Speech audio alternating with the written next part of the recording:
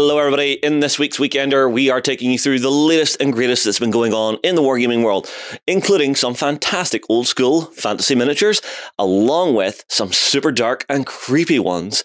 But make sure and stay tuned. This Saturday, from midday UK time, we are going to be live streaming and giving away a mountain of prizes. So we have stuff from the guys at Big Potato Games. Our buddies at Themeborn are in here as well.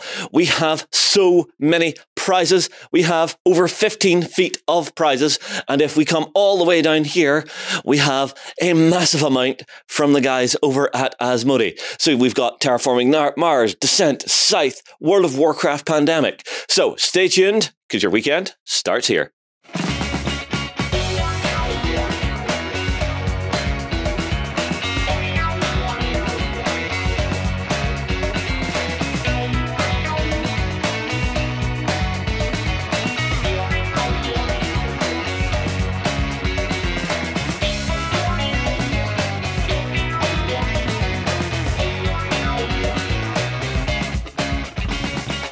Hello, everybody, and welcome to the Weekender. I am taking on the role of Jerry for this week. I'm not as big and not as beardy, but Justin's doing all the work for us on that front and yes, sporting that I amazing. set I think I'm more beardy now. You it's are, just yes. glorious Yeah, that yeah, that addition to your face you've got going on there. Only takes six months. yeah. oh, no. Now, I, Commitment. I, am fairly sure Justin has, now needs to keep this throughout all recordings, so there can be no skipping back and forth between him having a bare chin now. But there- oh, no, hang on, hang on. That used to annoy people so much. Some something when it was off. yeah. And then six months later, it would go out whenever this is on. It's just like, eh, eh, eh, no, what? Why? Huh? Don't trust Exactly, this. yeah. I don't trust Uh, this. No, no. If you, if you hadn't guessed already, uh, I am joined this week uh, by Justin, by Free, and by John. We've all come together to talk about some awesome wargaming news and board gaming goodness throughout the world of tabletop gaming this week. Mhm. But before we dive into everything proper, uh, we've got a couple of updates to dive through. So you would have seen that Justin uh, was showing off some amazing prizes 15 have- feet of Oh God, yes. prizes. So many prizes are going to be available tomorrow to check out. So we are going to be joining up with the folks at the um, UK Games Expo to put together the giveaway event uh, running from 12 till 2 uh, over the weekend. So all you've got to do is head on over to uh, our Twitch channel. Uh, either on YouTube as well. We've also got our Facebook as well. Uh, we're also going to be hosting everything through the On Tabletop um, homepage too, so you can get involved in that sense. We're going to be giving away, as Justin was saying, loads and loads of board games. There are tons and tons from a whole range of different publishers, some of which we'll be talking to uh, as part of our, inter- our interviews throughout that two hour show. Mhm. Uh, some of them that have kindly donated them to give away to you, lovely folk, as well. Um, we're also going to be di- giving away an amazing prize for someone who's maybe never gone to the UK Games Expo before. We're going to be giving away this. tickets and hotel rooms for the entire weekend for you to go and have some fun with it. So that's going to be the big grand prize that we're going to be giving away for that. Um, as you can see, you can follow down in the uh, links down below this video as well. Uh, we're going to have all the stuff for you to go and check out and Mhm. dive into and keep up with everything. So we're going to have the Twitch channel, the YouTube, and the Facebook, as I was saying, for you to go and uh, dive into and have fun with. Yeah. So, yeah. Now, the, the hope is we're going to be kicking off at midday UK time. Right. It should hopefully run two hours ish. I'm saying That's ish just because I don't trust Warren. I'll say I don't trust Warren, but I don't trust Warren. I'm, I'm fearing for you, Justin. I dread to think what No. you're going to get chucked over you during No, these no, two no. hours. No, you're avoiding no. the gunge. I've heard there's gunge, you know. Yeah. No, no, that that's that's that's John Robinson's thing. Whenever he's doing the baked bean tornado in the dark room. Yeah, guns guns was flirted, but I think we're stepping away from that, thankfully. Yeah, But there will be fun quizzes and everything for to dive into. Um, it's going to be a really jam packed show over those two hours, um, and yeah, should be good fun. It's going to be Justin, Warren, and Jerry hosting that one, so Hopefully, check it out. hopefully, Yes. so long as nothing weird or wacky happens. Well, yes, that's true. Uh, and also, we'll say that we are going to be doing sort of interviews during the show, uh, Mhm. but all of the full interviews that are going that we're going to be sort of diving into with all the different co- uh, companies will be available later as well. So some really nice things to dive into, even if you miss the twelve till two slots, but you don't want to because of the prizes, obviously. Yes, and they because of the they will be in in two hours. We have to give away everything, Yes. so it will be quite rapid fire. So be there or miss out.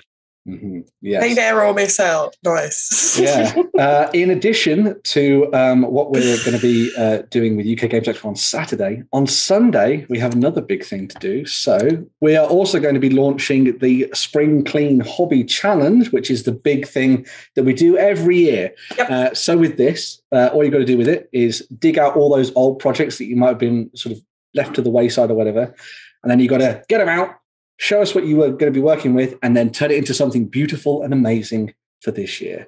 Um, as you can see, we're going to be giving away four £50 vouchers this time around with eight £25 runner up uh, prizes as well. So that's two for each of the different categories. Mhm. Did I mention categories? Yes, we have categories. So, yes, there are four categories for you to get involved with. Um, so, there is best skill. Uh, Mhm. this is based on the most skilled work, the br- most brilliant painting overall. We have best tutorial. So, we have the project system set up so that you can dive into. And when you're stuck into that, you can sort of fill it out with all the sort of what fors and warehouse of how you brought all your miniatures to life. That's also very important. We also have best idea. So even if you don't get to the end of your amazing um, Spring Clean Challenge project, as long as you had a really fun and cool idea, this is where you can get some prizes that way. And then we have the best one of them, the Otter Pups, or as we call it, well, we, Fourth of a pup. we do say Otter Pups, but it's actually also just junior member. Um, if you are under 16 and you want to dive in and have fun with this, then you can do that as well. Have fun, put together some interesting projects with your kids, perhaps over this sort of springtime break. Mhm. And uh, yeah, you could also win yourself some vouchers. And remember, if your kid wins it, it's not yours. It deserves to that is true. Yeah. That voucher is there. I mean, it, it, it- you make it sound like their kids just getting put into like a, a sweatshop. Okay, you're going to paint this, and Daddy's going to get new toys. yes. Bring both the other all of those things. Um, so yeah, so the challenge is going to run uh, from the 20th of March, so the start of spring springtime on Sunday, all the way through to the 21st of June. So you have a load of time to get involved with this. And I just want to show these are some of the projects that we have had in the past. As you can see, three plus seven pages worth of projects that people have been working on. Uh, it's a very simple thing uh, for you to sign up and get this sorted out. So let's go back to this again for a second. So yeah, what you got to do is start a project, click go to the drop down menu and click the spring cleaning hobby challenge and away you go you'll be ready to get stuck in and have fun with it i know that uh, usually us on the team tend to do something with this uh, i'm going to probably dig out some Tyranids that i've had sitting around for a really long time because i really wanted to paint some Tyranids and i think i might break those out and start painting those anyone else have any uh, sort of uh, visions of what they want to do with the spring clean challenge I mean, John looks hurt at the moment. Uh, see, he's always doing hobby. Me, on the other hand, it's just like, uh, might actually Okay. just spring clean my house. oh, nice. No, win win. cheating. Cheating. yeah that's I'll- cheating Yeah. I Justin, I, I will lay down the gauntlet to you then, Justin. Oh. Crap. Do you not- and, and we're doing this, we're doing this on front stage as well, which is even better because other people will know. I challenge you Right? to, to get fifteen hundred points of your Space Marine army finished. Is it I need to find my Space Marine army. I have no idea where it is. The first Can- part of the challenge is finding them. Mm. Can't, Like can't you just hunt. bring back You the, had- the you had German a- tanks that are out No. of yours that you were meant to do the camel pattern on that I never saw again? No, no, this is your challenge, Justin. because you you had a good color scheme you were working on, and I want to see an army of that. So Okay. I want you to do that. And come on, it's until June, right? All right. Yeah, we've got time. so 1,500 points of that Space Marine army 1,500 points. finished. Yes. If you if you do it, if you manage to pull it off, I will delay your birthday present and I will buy you an Imperial Knight for your army. That's is tempting. Rivalry. So the, so hang on, the reward for my hard work is more Another hard work? model. More hard work? That's Oh, my yeah, reward. more hard work. I'm also, I'm also going to lay down a challenge to free. Go on. I'm gonna, I'm gonna put I'm gonna I'm gonna put you in the ringer. So I want you to you know that amazing Witch King on Nazgul that you were working on. Yes. I want you to finish that for Okay. Again, you I like paint- Justin. don't- I need to find. exactly. Yeah, you don't have to pay any of the goblins or the orcs. You just have to paint the Nazgul and the Witch King, and I'll be Cool. happy. So Yeah, all right. I can do that. I can do that if I can find the Nazgul. Uh, no, if I can find the Fell Beast. Um, but what I do plan on doing is because I keep printing off 3D printing stuff, I'm going to get a bulk of it painted uh, because I keep tend to print things and put them to one side. I'm going to get quite a lot of it painted uh, to me. and stop and put my 3D printing on pause for a moment. Mm. So that would be yeah, my plan. indeed. Um, so yeah, if you want to get involved, uh, make sure to um, head on over to the article when it launches on Sunday. You follow all the instructions in there. And as I say, loads of amazing prizes in there if you do have a go at. And also, it's just a good reason to dive into all that um, those mounds of plastic and metal and resin that we have sitting around. I mean, the, the tire Well, shame is yeah, right as, there. As, as people are showing. But yeah, dive into all that and get it painted up. Um, there is one more announcement. Oh my God, we're giving you a panoply of announcements. You may have seen that we had an article going up this week. So we are going to be uh, launching alongside Corvus Belli Infinity Week Raveneye on Yes. Monday. So this is going to be very awesome indeed. So yes, we are going to be talking with Carlos Killian, who came over to the studio. You might have seen in that little kind of teaser blog that we did. And we're going to be going through the Raveneye book, which is the new fantastic supplement there. We're also going to be looking at the Morat Aggression Force Action Pack, which is quite a mouthful, but an amazing set of new miniatures, as you can see here. These are mere teasers of what amazing stuff awaits you for Infinity. There's going to be loads and loads of videos all throughout the week, including a battle report. Everybody loves a good Carlson Killian battle report. Um, we also, sorry, go on, Justin. I, I will say I have been editing through these just to try and be ahead for next week. And I will say, keep an eye on Wednesday because uh, there is something huge coming. Yes. Yes, yes, very true. Um, and in addition to that, if you comment on any of those videos next week, you'll also be able to win yourself one of three Operation Crimson Stone battle packs. Um, so we're going to be giving away them in a similar fashion to we normally do. So we have one for YouTube, one for on tabletop, and an additional chance to win for our Cult of Game subscribers. So yes, Raveneye Week is coming on Monday. Ooh, nice gonna give you- excuse to get Yeah. into code one there, isn't Very it? true. Yeah. Mhm. And we're going to give you a little tiny teaser of that before we're back in a little second. Comment on our Raveneye Week videos for your chance to win Operation Crimson Stone. We'll be choosing three winners one from the comments on YouTube, one from OnTabletop.com, and our Cult of Games members get an extra chance to win.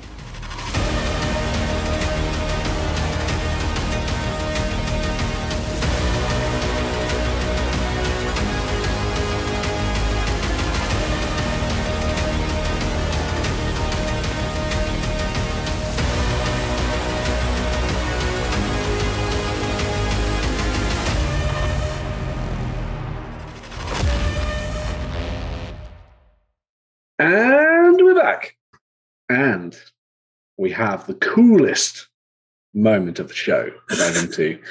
And I have decided to give the honor of uttering the immortal phrase to the wonderful John here, because he did it off camera and it was amazing. It's. So, John, He will never make it it good aw- again. oh, yeah, that's true. Take it away. Time for Indie of the Week. Oh, God, that was Very that gave me That's ASMR. good. chills. Yeah, it Oh, was. God, I love that. yeah. Mm. That little Right. earworm. Yeah. So uh, this week, I have chosen the indie, uh, and I've decided to go particularly uh, sort of weird and old hammer with Creative Sculpt Studio. So let's have a peek at this. So Creative Sculpt Studio. Can you see this? Can Can you take. see the show? Right. Yes. It's just because Jerry does all this, right? So anyway, so um, this is Creative Sculpt Studio, which is run by a dude called Paul. One man band. A one man band. I don't know his last name, but um, but Paul is an amazing name anyway. Uh, and the idea is that uh, Paul has been sculpting miniatures for many, many, many years and does them for a range of different companies, but also for himself. So he's a sculptor for hire, but also does all his own own stuff as well. Uh, based around the Dark Hollow, Dark Hollow Miniatures collection, as you can see just at the top there. So this collection uh, is broken down into a whole range of different elements. Uh, there's lots of stuff in here for role players. There's also stuff in pe- uh, here for people who are really into like old hammery stuff and that kind of vibe as well. So I'm going to start off with one that I think would be very good for a lot of role playing gamers, and that is this Dark Hollow Adventurers Party, as you can see here. So Everyone needs a pony. Everybody Exactly. needs a pony. Yeah. every adventuring party needs a pony. In, I mean, you, then you need something to carry away all the stuff you've stole off the dead bodies. all the loot. All the loot, yeah, yeah. Uh, but in this, obviously, you've got your sort of standard stuff. So you've got your kind of wizard leading the party and sort of going off into strange dungeons, leading halflings to their doom. Mhm. You've got the sort of ranger rogue style character there that could be an elf, could be a human if you wanted to, maybe even like a drow as well. All very nice too. And then you've got your classics here. So you've got kind of like your heavily armored knight or a paladin perhaps as well. A little tiny sneaky halfling rogue. so it was really nice.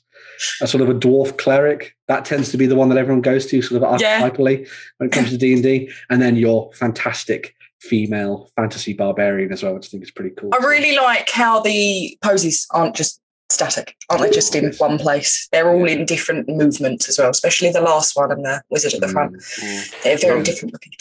The rogue does have one of my big bugbears. Go on, Not the rogue, sorry, the the archer.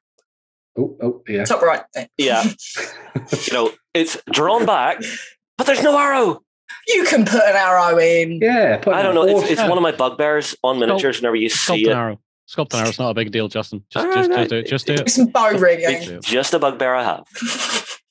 But no, it's, it's a nice little set, I think, for people who are starting out. And you can also see initially, like, well, especially this is especially why I was drawn to this, is that all of this stuff is sort of traditionally hand sculpted.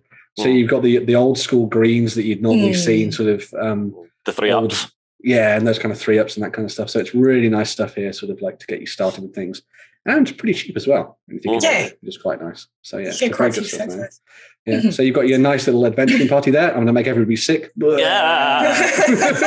uh, but This then is too moving on- much power for one Ben to Yes, have. it is I know. This is what happens when Ben's in charge. I'll make you ill watching the weekender. Uh, but another one of the sets that I've written. So Dark Hollow Dwellers is kind of like the main way that this sort of comes together. Mhm. And this shows off all the like really weird and wonderful stuff that um, Paul has been working on. So if you see anything in particular that you want me to talk about or show off, Can you look at those minions there, Ben? this Mm. one, The, here, the third one. There's a The third moon one. with legs. the third one, the minions. What? Ah, yes, I There you see. go. Right here we go. Haha. I know what I'm doing. I can I can navigate this. Oh, that, you know, top right just looks like Plank from Ed, Edd, and Eddy has had a bit of a hard time. He's retired. He's uh, gone to the Wizard's Castle now. Oh, it's a little fishy. Catfish! Yeah. That's almost a catfish. He just trolls everybody on the internet online. That's what he does. Yeah, that's what he does. Oh, the moon with legs is great. You can imagine Uh, he just yeah. looks like he just doesn't want to do his job. You know, he lives in a wizard's castle when you're telling him, oh, for God's sake, where you gotta go? Sun's Yeah. going down. Sorry. This this reminds me of a, a game I wanted to make where it would be wizards arguing about which minion was the best, Mhm. and then each player is essentially the wizard sending out his preferred type of miniatures. Yeah, these all Or like belong in a, tokens. A wizard's castle, don't they? Yeah, Yeah. so po- Pokemon with wizards.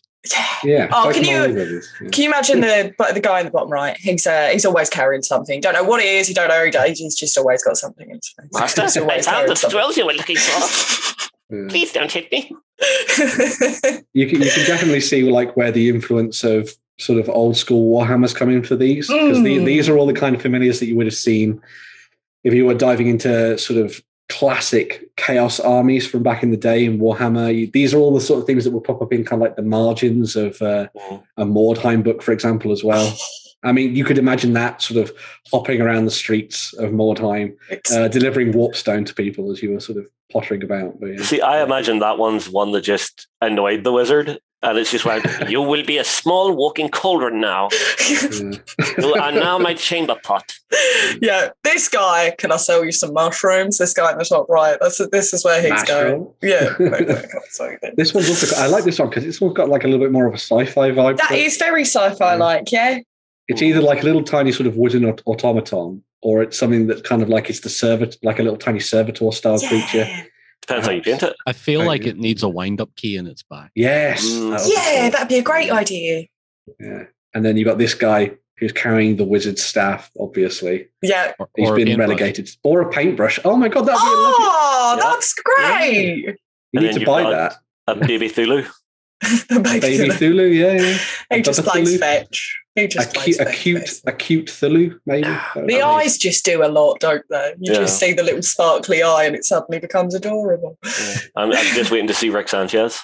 this this needs to be uh, the prize for like a painting competition or something. Definitely. Ev- Everybody gets one of those, like painted in gold, silver, and bronze. Ah, That's awesome. Well, if you ever wanted to do a painting challenge, everybody Yeah, paints yeah, the same mini.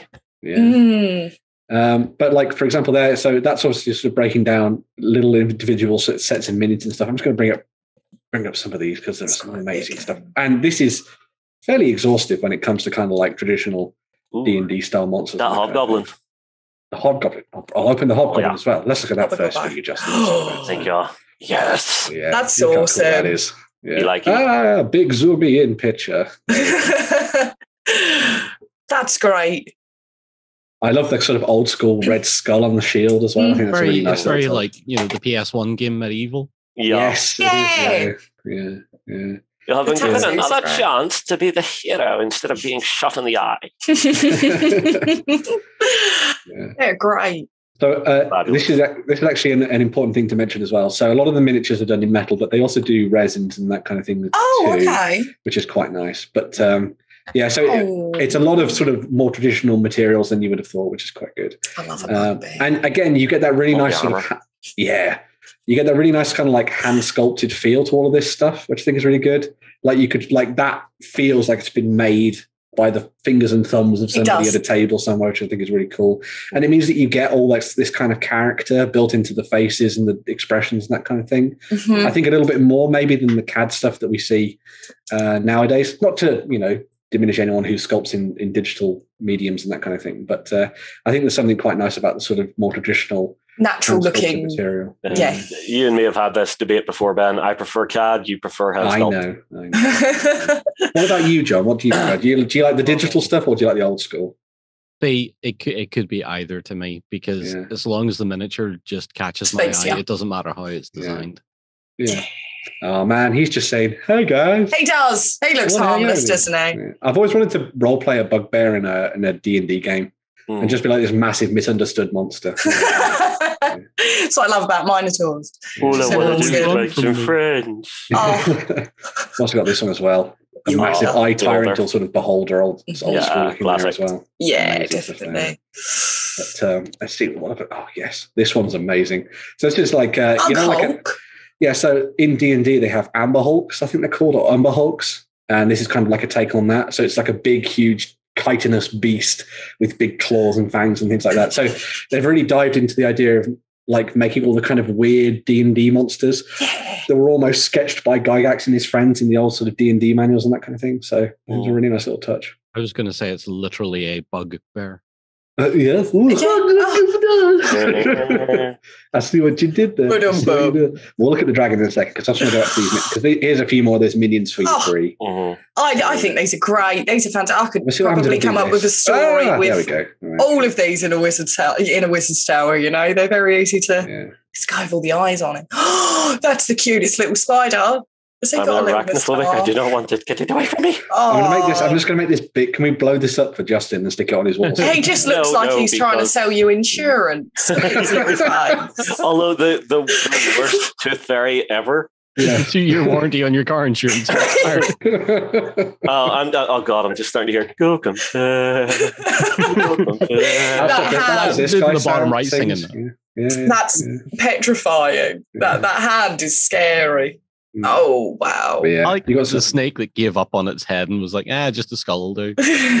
Yeah, yeah. There's also this as well. So this Oh, is uh, wow. one of their one of their bigger miniatures. Well, Does that yes, come it's in like a pieces? Does that, or is that I all in one? No idea. I'm going to look. Here we go. So we go. It's a three-headed dragon. It's a seven-part Seven. multi-resin piece. There we go. Wow. One, Very 21 cool. centimeters in length. Mm, it's a big boy. That is huge. Oh, I mean, Coming out good- very good for a soon, nice actually. big centerpiece. Yeah, is- very much so. Nice three-headed dragon.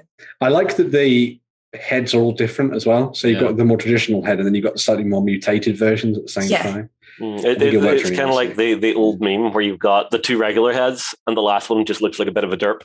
Mhm. a bit of a derp. There we Yeah. go. That's Well, they've all grow up together. Yeah. uh, so yeah, so we've also got this stuff. So also got again a little bit more sort of dungeon diving things. So I'll just take a look at one of these. This one here, for this one. So, Hmm. so yeah, you've got some more dungeon fiends. As you can see, you've got the, the little hobgoblin and stuff that you've seen in the last one, alongside some of the other sort of spirits and things that you might run Oh, into. That's snail though. I was just saying this. Yeah, the snail's great. The the paintwork on that shell is The shell. gorgeous. Yeah. I think, I think that's that's one of the nice things I think about this range in general is that every single one of the pages we've been onto with this, when we're looking through this indie, everyone's been like, "Oh my god, look at that! Oh my god, look at that!" And I think that's that's something that really indicative of Paul's sculpting style and things that it kind of draws the eye to individual things.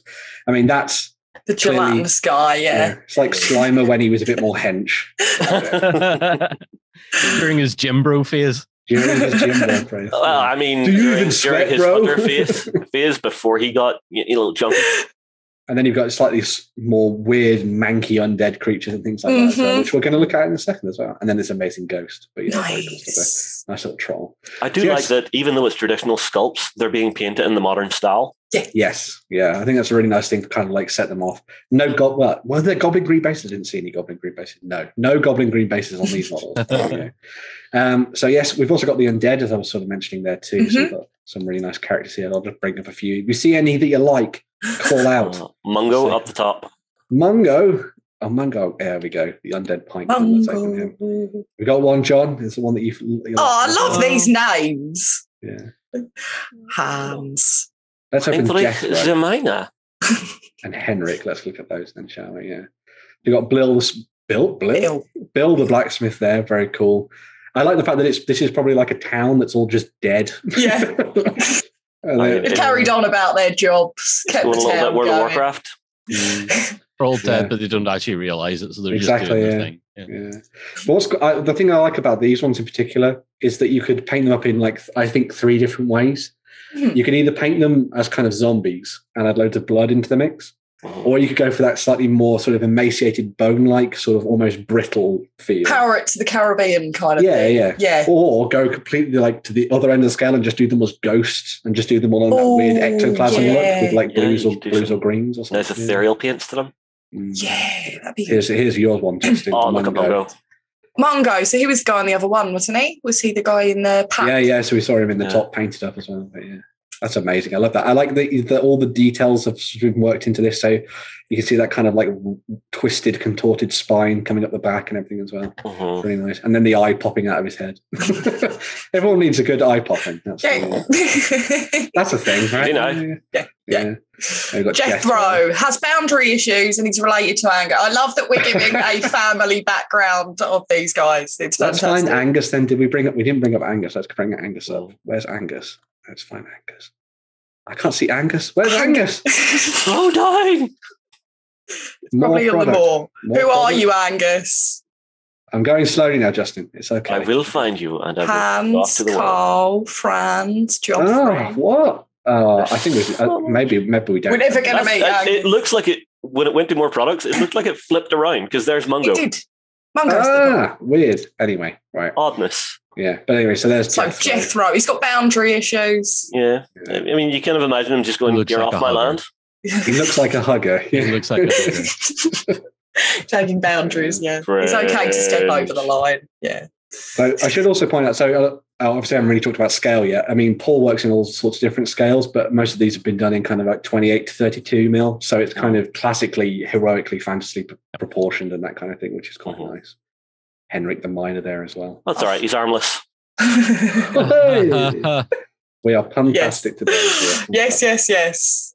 Yeah, I'm just going to close a few of these so we can move on. So we also have this thing as well. So we've got the monstrous encounters. Ooh. Mm. So this kind of throws in a few of the sort of slightly weird and wonderful things that um, they worked on as well. So obviously we've got the dragon there that we've seen before, but you also then have all these little tiny, like weird little um, sort of Snaily creatures, on creatures. snails, which I think is just fantastic. I mean, you've got. I, I, these in particular are just like I know. I want it. I want. Cyril, I'm having him. enraged son of Gelatinous Bob. I do love that they've had it uh, embedded a family tree in these guys. It's Yes. fantastic. Yeah. But look how cool is that guy? oh, that's brilliant. Like, yeah, Yeah, but like, is, that's is he coming or going? Just living his best life. Just you can never know. it. Yeah, yeah. Like, imagine you were putting together a chaos army, and you were like, "Who's your champion? Oh, is it that big guy, in the massive arm, the massive on the back of that warhorse? No, it's him, This the little guy tiny guy." comes in slowly on the snail. I mean, hang on. You, you've got to watch out for the little ones. They're vicious. They'll be ankle biting you. yeah, yeah, yeah. They'll have your kneecaps. Cool. Well, yeah, my, my D&D character does that. Yeah, oh, I really like snails as mounts. Mm, I think it's a really They're cool idea. Yeah. Yeah. And as they like, a lot of these things have been designed for role playing and stuff, but I think a lot of this stuff in particular um, works really nicely for those people trying to make sort of old hammer style armies. Because a lot of times you can get your hands on a lot of the old plastics and things, but the Yeah. metals are a little bit harder to find and they're usually a bit pricey. Mm. So looking at stuff like this enables you to dive into maybe an old chaos army or something a little bit different, maybe Skaven or Undead or something like that, and put together some really interesting forces made up of interesting new models from a, a, a creator rather than Mm. just having to rely on the old Citadel ones and that kind of thing. So How cool is that? Gelatinous Gelatinous He looks so grumpy with his. He's bike. retired, hasn't he? He's he's done. He's out of the game. old for This I'm drying out. He's, he's he's tired. I'm done. Yeah, that's very cool. Yeah. Mhm. We've also had these Chaos Warriors. So this is a slightly more sort of badass, um, kicking ass style uh, Chaos miniatures and that kind of thing. So let's just look at let's look at the whole warband. There we go. So we've got that's the whole set of them all together. Oh, Again, going for that slightly more sort of old school look and feel Mhm. to them. Mm. Um, I think Paul was saying on in kind of like the about me section of his page, this is the kind of stuff that he loved making when he was younger, and so that's kind of filtered through into sort of what he's been doing now as the sort of range has grown and developed and that kind of thing too. Um, and I think it's really awesome because this kind of gives the appearance of again old hammer style chaos warbands that weren't just made up of like followers of one god; they were made up of all different types of characters Mhm. that came together and sort of battled for supremacy on the tabletop and things. I so, mean, This one set, instant warband for Frostgrave. yep. yeah. Very much so. Yeah. Yeah. A really quirky, weird one. Definitely. That'd be really cool. Yeah. Um, so yeah, so there loads of awesome stuff in there. I think this one's pretty nice as well. Is that a scorpion tail, or is that Yeah. coming from that? Yeah, Yeah. or is that coming from the sword? No, That's that's, coming from him. that's coming from him. Wow, that's really It- it's cool. coming from his nethers. Yeah. and you've got that classic sort of bird-headed look to a Zentian sort of warrior with that kind of almost magical crystal sword as well, which I think is really nice. Very cool. And then Oh. the head of Conan the Barbarian. I'm all right. It's only a flesh wound. Yeah, I think that's pretty awesome. That's really cool. Yeah. Uh, just want to bring a few more little bits and pieces here as well before we finish up as well. So, as I say, they do a little bit of scenery too. So, you've got a couple of e- extra pieces here. Got that sarcophagus that we saw as part of the Undead collection, which got the little creepy hand opening up the tomb so you can climb out and stuff. I think it's really nice. It's got a little sort of sigil or crest on the side of it as Yeah. well. A very nice little piece there. But good for you. Good if you're putting together kind of like an Yes, undead scenario in a D and D game or something. Mhm. Or if you're maybe doing some 7 TV, doing Oh, yeah. Dracula, dead and loving Very it. true. Yeah. You've also got this, which is the evil totem, which I think is really nice. That's If- very cool. Yeah, so head's been cut off, stuck on the end, no legs, all the blood in the world, and clearly been attacked by something that's a little bit goblinoid, I'd like to think, because of a little tiny bad moon there as well. And he's I- clutching his last will and testament in his arm there. Like, See, I don't know. I, I imagine he's been in a horrible accident and the goblin just came along and went, Sorry, I can fix it. I can fix it. I can fix it. I can fix it. Are you saying this is a goblin surgery table? Is that Yeah. what you yeah, the goblin, the goblin tried to help the goblin field. Yeah. Yes. and then I couldn't go without talking about this as well. So we have the dwarf slayer, the dwarf Oh. giant slayer. So Oh, yeah, I that's do like this. That giant head alone is friggin' fantastic. That's Uh-huh. great. Never Love mind. the fact he's got a lip ring in. never mind flipping the bird. You know. Yeah, I mean, yeah. That's awesome, isn't it? that's what you imagine Gotrek's like after he's killed someone. It's just like, yeah, got it. That is the picture of pure job satisfaction. if your job doesn't make you feel like a dwarf slayer, you're in the wrong job. You said I couldn't it. do it. but yeah, I think that's pretty impressive, especially if, like a little vignette or something if you want to dive into and play around with that. Yeah. Comes with the metal metal dwarf on the top and then the resin giant's head as well underneath, which I think is, as, as John was saying there, I think the, the giant's head in particular is just phenomenal. I think that's, I want to see the giant before he gets beheaded. Yeah. Just saying, just saying.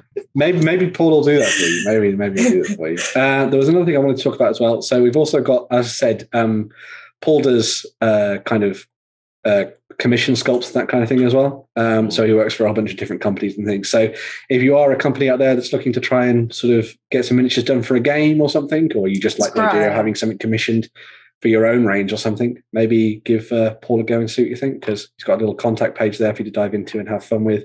Coolness. And then there's a nice little about page as well, talking about some of the stuff that Paul's done in the past and the different companies and things that he's worked with and some of the influences. Wow. Mm. He scales all different sizes, doesn't he? Yeah, so he's worked in six all the way up until Wow. 90 millimeter, which is amazing. So yeah, very And cool. bigger. Yeah, I also want to point out as well that recently, so this isn't available at the moment, but Paul, there you go, Paul Smith did, um, well, or does a lot of um, uh, Kickstarters, Mhm. uh, working on different miniatures and things. This was the latest one that was done. Uh, that's going to be fulfilling in uh, July there. So if you're interested in checking out some of these miniatures before they appear on the actual web store itself, then uh, you can check out the Kickstarters and things that, That Paul is does. Which is Grim, cool. isn't it? So yeah, we go. that's, that, that face in the, the main body is horrifying. Yeah. Yeah, that's, that's brutally gorgeous. I think would be the best way to say He's it. asking to be Mm. stabbed in the mouth, though, isn't he? Yeah. Just- But yeah. So if you are interested, uh, head on over to creativesculptstudio.com and have a look at it. Dive into the dark, hollow miniatures range and have fun with it. And uh, tell us what you pick up from there because I'd be interested to see what people have been thinking about it. But yeah, very cool stuff there. Mhm. Uh, I said very cool. There we go. I got it in. My meme is, my meme is complete. so uh, that was Indie of the Week. I hope you enjoyed that one. Uh, we're going to take a little bit of a break and then we're going to be back to dive into all sorts of amazing tabletop gaming news. Coming to you from the center of Northwestern Europe. Covering board games, war games, card games, and all that sh- you love. It's the Mutt News. Hello, everybody, and we're back for some amazing tabletop gaming news. Uh, hmm, there's been some fun stuff happening, uh, and I'm going to be kicking things off by talking about Micro Art Studio and their new range of very nice pre-painted, pre-colored terrain. So let's dive in and show that off. So yes, their new terrain uh, has been sort of designed so that it matches up with the aesthetic of the rest of their Infinity stuff. Um, all of it is HDF, so it's the Nice. sort of um, traditional kind of like wooden terrain that everyone will be very, very familiar with. But the big thing with this stuff is that, as you can see here, all of it is obviously pre-colored and Wow. then pre-detailed with all the sticker panels and everything on the sides of it. Which I think is really awesome. I love the Um, billboard stuff on the bus. Yeah. So they've done some really nice stuff. That, like all of these kind of like little accessories are all available. Things like these kind of um, roadblocks and that kind of stuff is all there. All of these things as part of their kind of like resin collection, that kind of thing. Mhm. But a lot of a lot of the sort of larger pieces are all available individually uh, in this new pre-colored format. Uh, and as you can see here, they do some really large Wow. pieces and then some really smaller ones, some smaller ones as well. So this is just one of them, and it shows off exactly what they do with this. So all the sort of outside panels and things, I've got that kind of color attached to them. And then on the interiors, you've also got some element, different elements there too. Um, there's still some areas that you might want to come back to these and sort of finish them off with. I think, like a lot of people, tend to sort of put markers along the re- the sort of edges of these, just to kind of like finish them off a little bit. Yeah. But I think in general, uh, because they're trying to make kind of like, as I say, that sort of pre-painted, easy to use and quick to get to the tabletop terrain, I think that's fine as it is. you don't need to go back to that. No. No, you I don't think need that's to. good. Uh, they've also done like a few different styles. So Oh. obviously, this was the um, Kyoko three sort of style, which kind of very sort of traditional, kind of like Japanese style Mm-hmm. buildings, but with the sort of sci-fi aesthetic built on top of them, a little bit Mhm. from uh, from uh, Infinity. It's all modular as well, which is pretty cool. So you can play around with it, which is quite nice. Uh, and then you also have these ones here. So this could obviously be used in the one of their slightly more Japanese settings, but you could always take this and put it into pretty much ev- any other Yeah. uh, landscape, I reckon. Uh, it think looks it looks like it's one of their modular buildings. yeah, yeah. So each, each blocks and blocks. yeah, Mm. so each of these can be sort of slotted together, and then you can put multiple ones on top of it as well, which is quite nice. The graffiti is a nice touch there. I Yeah. love the graffiti on that. Yeah, I think it's really nice. Uh, you can see, I think, if you look, oh, that's not even any bigger, but you can see here as well that they kind of like added additional levels with the, the stairs and things onto it, which I think is quite nice because you can move around the railings and things, which is quite good. Here's one of their very modular ones. So this is kind of designed as a little bit like a like a hab block, Mhm. or like the apartments and things. So you've got that one there, which is sort of done in the blue, again with all the texture detail and everything on the side of it. You've even got the little signs there, as you were saying, Justin, sort of bringing Mhm. attention to pes- specific Very areas and giving them a little bit of character. Mhm. Uh, and then you have this one here, which kind of breaks down into individual sections as well. Um, they've all been designed to like they work well with Infinity. So all of them have, have got lots of space High inside. to kind of- sci-fi. yeah, yeah, Yeah. They've got that vibe, but then also on like a gameplay na- uh, element as well. So like everything's been scaled and sized so that it works within the kind of um, is it the ITS format that they use, the Infinity Tournament System format? So Mhm. they've done that, especially with some of the larger buildings. They've actually got objective rooms built into them and that kind of thing, which is quite good, I think. I So- like that they're doing the same cuts with or the same kits with different colors. Yes. Yes. Yeah, yeah. I think uh, it, I think it means that you can sort of play around with this a little bit more and just have fun with it and build a city quite quickly. Especially if you put it onto one of these um, the mats and things that you can get Well, yeah. um, from a, a wide variety of different uh, providers at the moment as well. So Mhm. There's some really nice stuff I think there for Infinity fans to dive into, especially with uh, our recent Infinity Week. Uh, Yes. Well, the the Infinity Week coming up next Monday. So, Yes. so Coolness. some really fun stuff there. I'd say all pre-painted or pre-colored, I guess would be the way to uh, sort of talk about that. But um, yeah, it's good there if you want to sort of dive in and play around with, um, well, putting together Infinity terrain without having to bother about ever going near it with a brush. Basically, Oh, yeah, would be the you're gonna do have to yeah. Put a lot of bright colours into your terrain, and you certainly don't need to. especially after spending, you know, if you're a good Infinity painter, spending months and months and months working on these Yes. fantastic looking armies that we keep Yeah. seeing every weekend, you know, in, in our Mhm. project system, and then Mhm. you're like, I have to put that same level of detail into my terrain. No.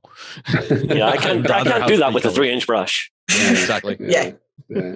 But yeah, some amazing stuff there for Infinity. Uh, if you want to dive in and have fun with it, uh, free. You're going to take us off to a in a journey into. I, who would have thought that you would want to talk about Moonstone? Me! Uh, Oh, here I am with your weekly whimsy update. That's what I'm doing. So, um, Moonstone have got some new releases on their website. So, following on from their successful Kickstarter last year with the Horizon, there's some new minis, the expansion, and campaign flow in a fresh cohort of dark and twisted whimsical releases. So, starting from the top, as you've got there, you've got the new Horizon expansion that's on the store. So, this is chock a block full of content. So, this was part of last year's Kickstarter. So, some of you might be like me and be lucky enough to already have the hardback. So, I can take you through what is in there. So, we've got 176 pages of content in total to widen Moonstone as a game. So, there's nine story scenarios in there, rules for linking up games into campaign mode. There's an extensive and detailed rules breakdown with different experience, so you can go through and see how to play it. And if you've got the first book, you're going to see a continuation of 55 extra character profiles inside. So that's Wow. going to include the good old Boris the Bunny Summoner and some unseen ones there, like um, the two that you have. So you've got Duchess and Creep. Uh, there's also some future releases in there as well that we can have a look at what is coming. You've also got 100 pages worth of lore and storyline in there as well to supplement your game. So there is a lot in the horizon, especially if you're looking for more campaign play with Moonstone. It's something that you should have a look into. So speaking of campaign, you've got the new campaign deck as well. So this was part of Kickstarter as well. So you can get hold of your deck from the store too.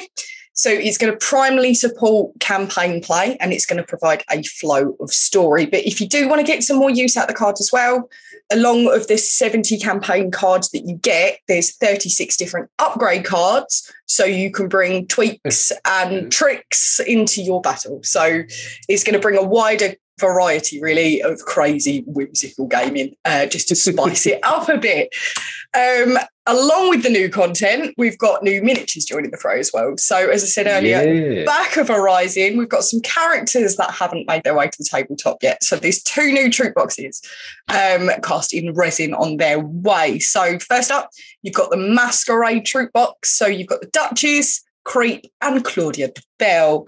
So they're all high and mighty and rich and would certainly fit in well in Carnival, actually, if you are looking Oh yeah, yeah. For something a little different. But along with other Moonstone characters, they've got dark and sinister trips up their well polished sleeves. So you've got the Duchess there. She's an upper class social climb- climber who is keen on getting creative with her murderings. Uh, the Creep, who's sneaky and he lives life in the shadows. Uh, he plans his tricks through intimidating tactics and draws towards the weird and sinister. And then you have Claudia Duval, and this is fantastic. She is the politest robber that you're ever going to meet. Um, she's going to rob you blind on the highway, but expect some kind worded therapy in the process of being robbed uh, by her. Uh, the second box you've got that have hit the store. Uh, you've got more humans coming, and you've got the black powder troop box as well. So we've got three scurvy ridden pirates joining the fray moonstones on the mind. Uh, this is my favourite. It's made me smile. You've got Swash, Peggy, and Powder Monkey. So uh, Swash, he's a fine upper class gentleman, smug smile, as you can he see. looks it. Yeah, yeah. He does. He's got a bit of a Gaston about him, hasn't yeah, he? yeah. Uh, he's keen on starting his life in the high seas by flexing his fencing abilities. So he's adopted the name Swash quite recently, and he's keen on dedicating his life to piracy and upholding the legacy legacy of his father. You've got Peggy, and I was so happy to see that Peggy has got a peg leg. I was I was very can't be happy. called you Peggy can't not yeah, be yeah. a pirate called Peggy and not have a peg leg. Um, and she's wonderful. So she's a strong female character. Quick wit to rescue, and she rocks up her sword and her pistol. And then there's my final, which is my favourite. You've got the powder monkey. He's Like, amazing. it- there's a picture of him coloured and he's got some flowery shorts on. And it, it really, Oh, yeah. there you go on the box there on the front. Yeah. He's got, I mean, would you look at those shorts? so the crazy little monkey, he's going to add some, he looks like he's got a bit of a serious alcohol addiction with his uh, alcohol being held onto him. Uh, but he's going to stir up some drama on the table. So he's quite lazy. Very agile. He's got a barrel of bombs, so you're not going to be forgetting him anytime soon. And as I said, you can't, you have to paint those shorts extravagant as you possibly can. Definitely do, yeah. Yeah, so there's several releases over at Goblin King. If you do want to get on your Moonstone, there's loads of new products to dive into and loads to expand on the universe. So mm. quite cool to see what's going on at Moonstone. Very nice. Yeah. The thing that I quite like is what what Moonstone does and what Goblin King does is they put all the rules on the on the page. So if you if you're interested in the characters, you can go and just find out how they work before you buy them. So you can be like, ah, this would be a good fit for my particular, you know, warband or, or Yeah. troop, for example. Then you can just have fun with it, which is quite nice. Yeah, that's what's fantastic about the, the books, the Arising book. You can have all of them deaded out, so you can just go through each page and see what kind of band you'd like to build. Um, Yeah. But they're, they're a lot of fun, Moonstone minis, when they drop. They're certainly whimsical. So I always look forward to seeing these uh, when they're released. So Cool. You lots got- fun. You got you got one of these that you want to paint, John? Uh, is it Uh, is it Powder Monkey? No, oh, which one? Which one? uh, Which one? Peggy. That's Peggy, Peggy, Peggy's right. great. Um, Yeah. yeah. I, enough. I'm, Well, it- I'm a sucker for a good female character. So, Mhm. like, I painted Jada and I loved hers. Oh, Jade yeah, was yeah. I fantastic. love Peggy as well. Yeah. Although she actually reminds me of one of the strangest things I've ever seen on TV. Oh, no. Someone was on Pawn Stars and brought in a peg leg, which actually had a uh, a pistol built into it. How It- cool. It works. That's pretty awesome. That's not odd. That's friggin' cool. that is cool. But it was literally like homebrew because when they were that. looking at it, they were going, "All right, so that came off a Brown Bess to actually get the trigger mechanism to work." It's just like you're telling me somebody homebrewed a peg leg pistol. Cool. That's sweet. I would cut my leg off to have that. Please don't. That's some kind of like Final Fantasy stuff. That is. That That's yeah, cool. Yeah, yeah. Right. Yeah. So some amazing uh, Moonstone releases there. Thank you very much, Free. That's very cool. I'm, I'm sure Jerry is kicking himself that he's not here. It's really nice, actually, No, to no, be Jer- Jer- taking Jerry's not kicking himself. He's recovering from St. Patty's Day. That is true. That is Jerry's true. probably already purchased these. Let's, let's, let's That's- face it. yes. Jerry's already got He has all them. We know he's got it. So, uh, yeah, it won't take me too long to be fair. Yeah. How about you, Ben? Where are we off to? Uh, so next up, uh, we're going to be doing a little bit of role playing, uh, but in the Iron Kingdoms. Ooh, this will make me happy.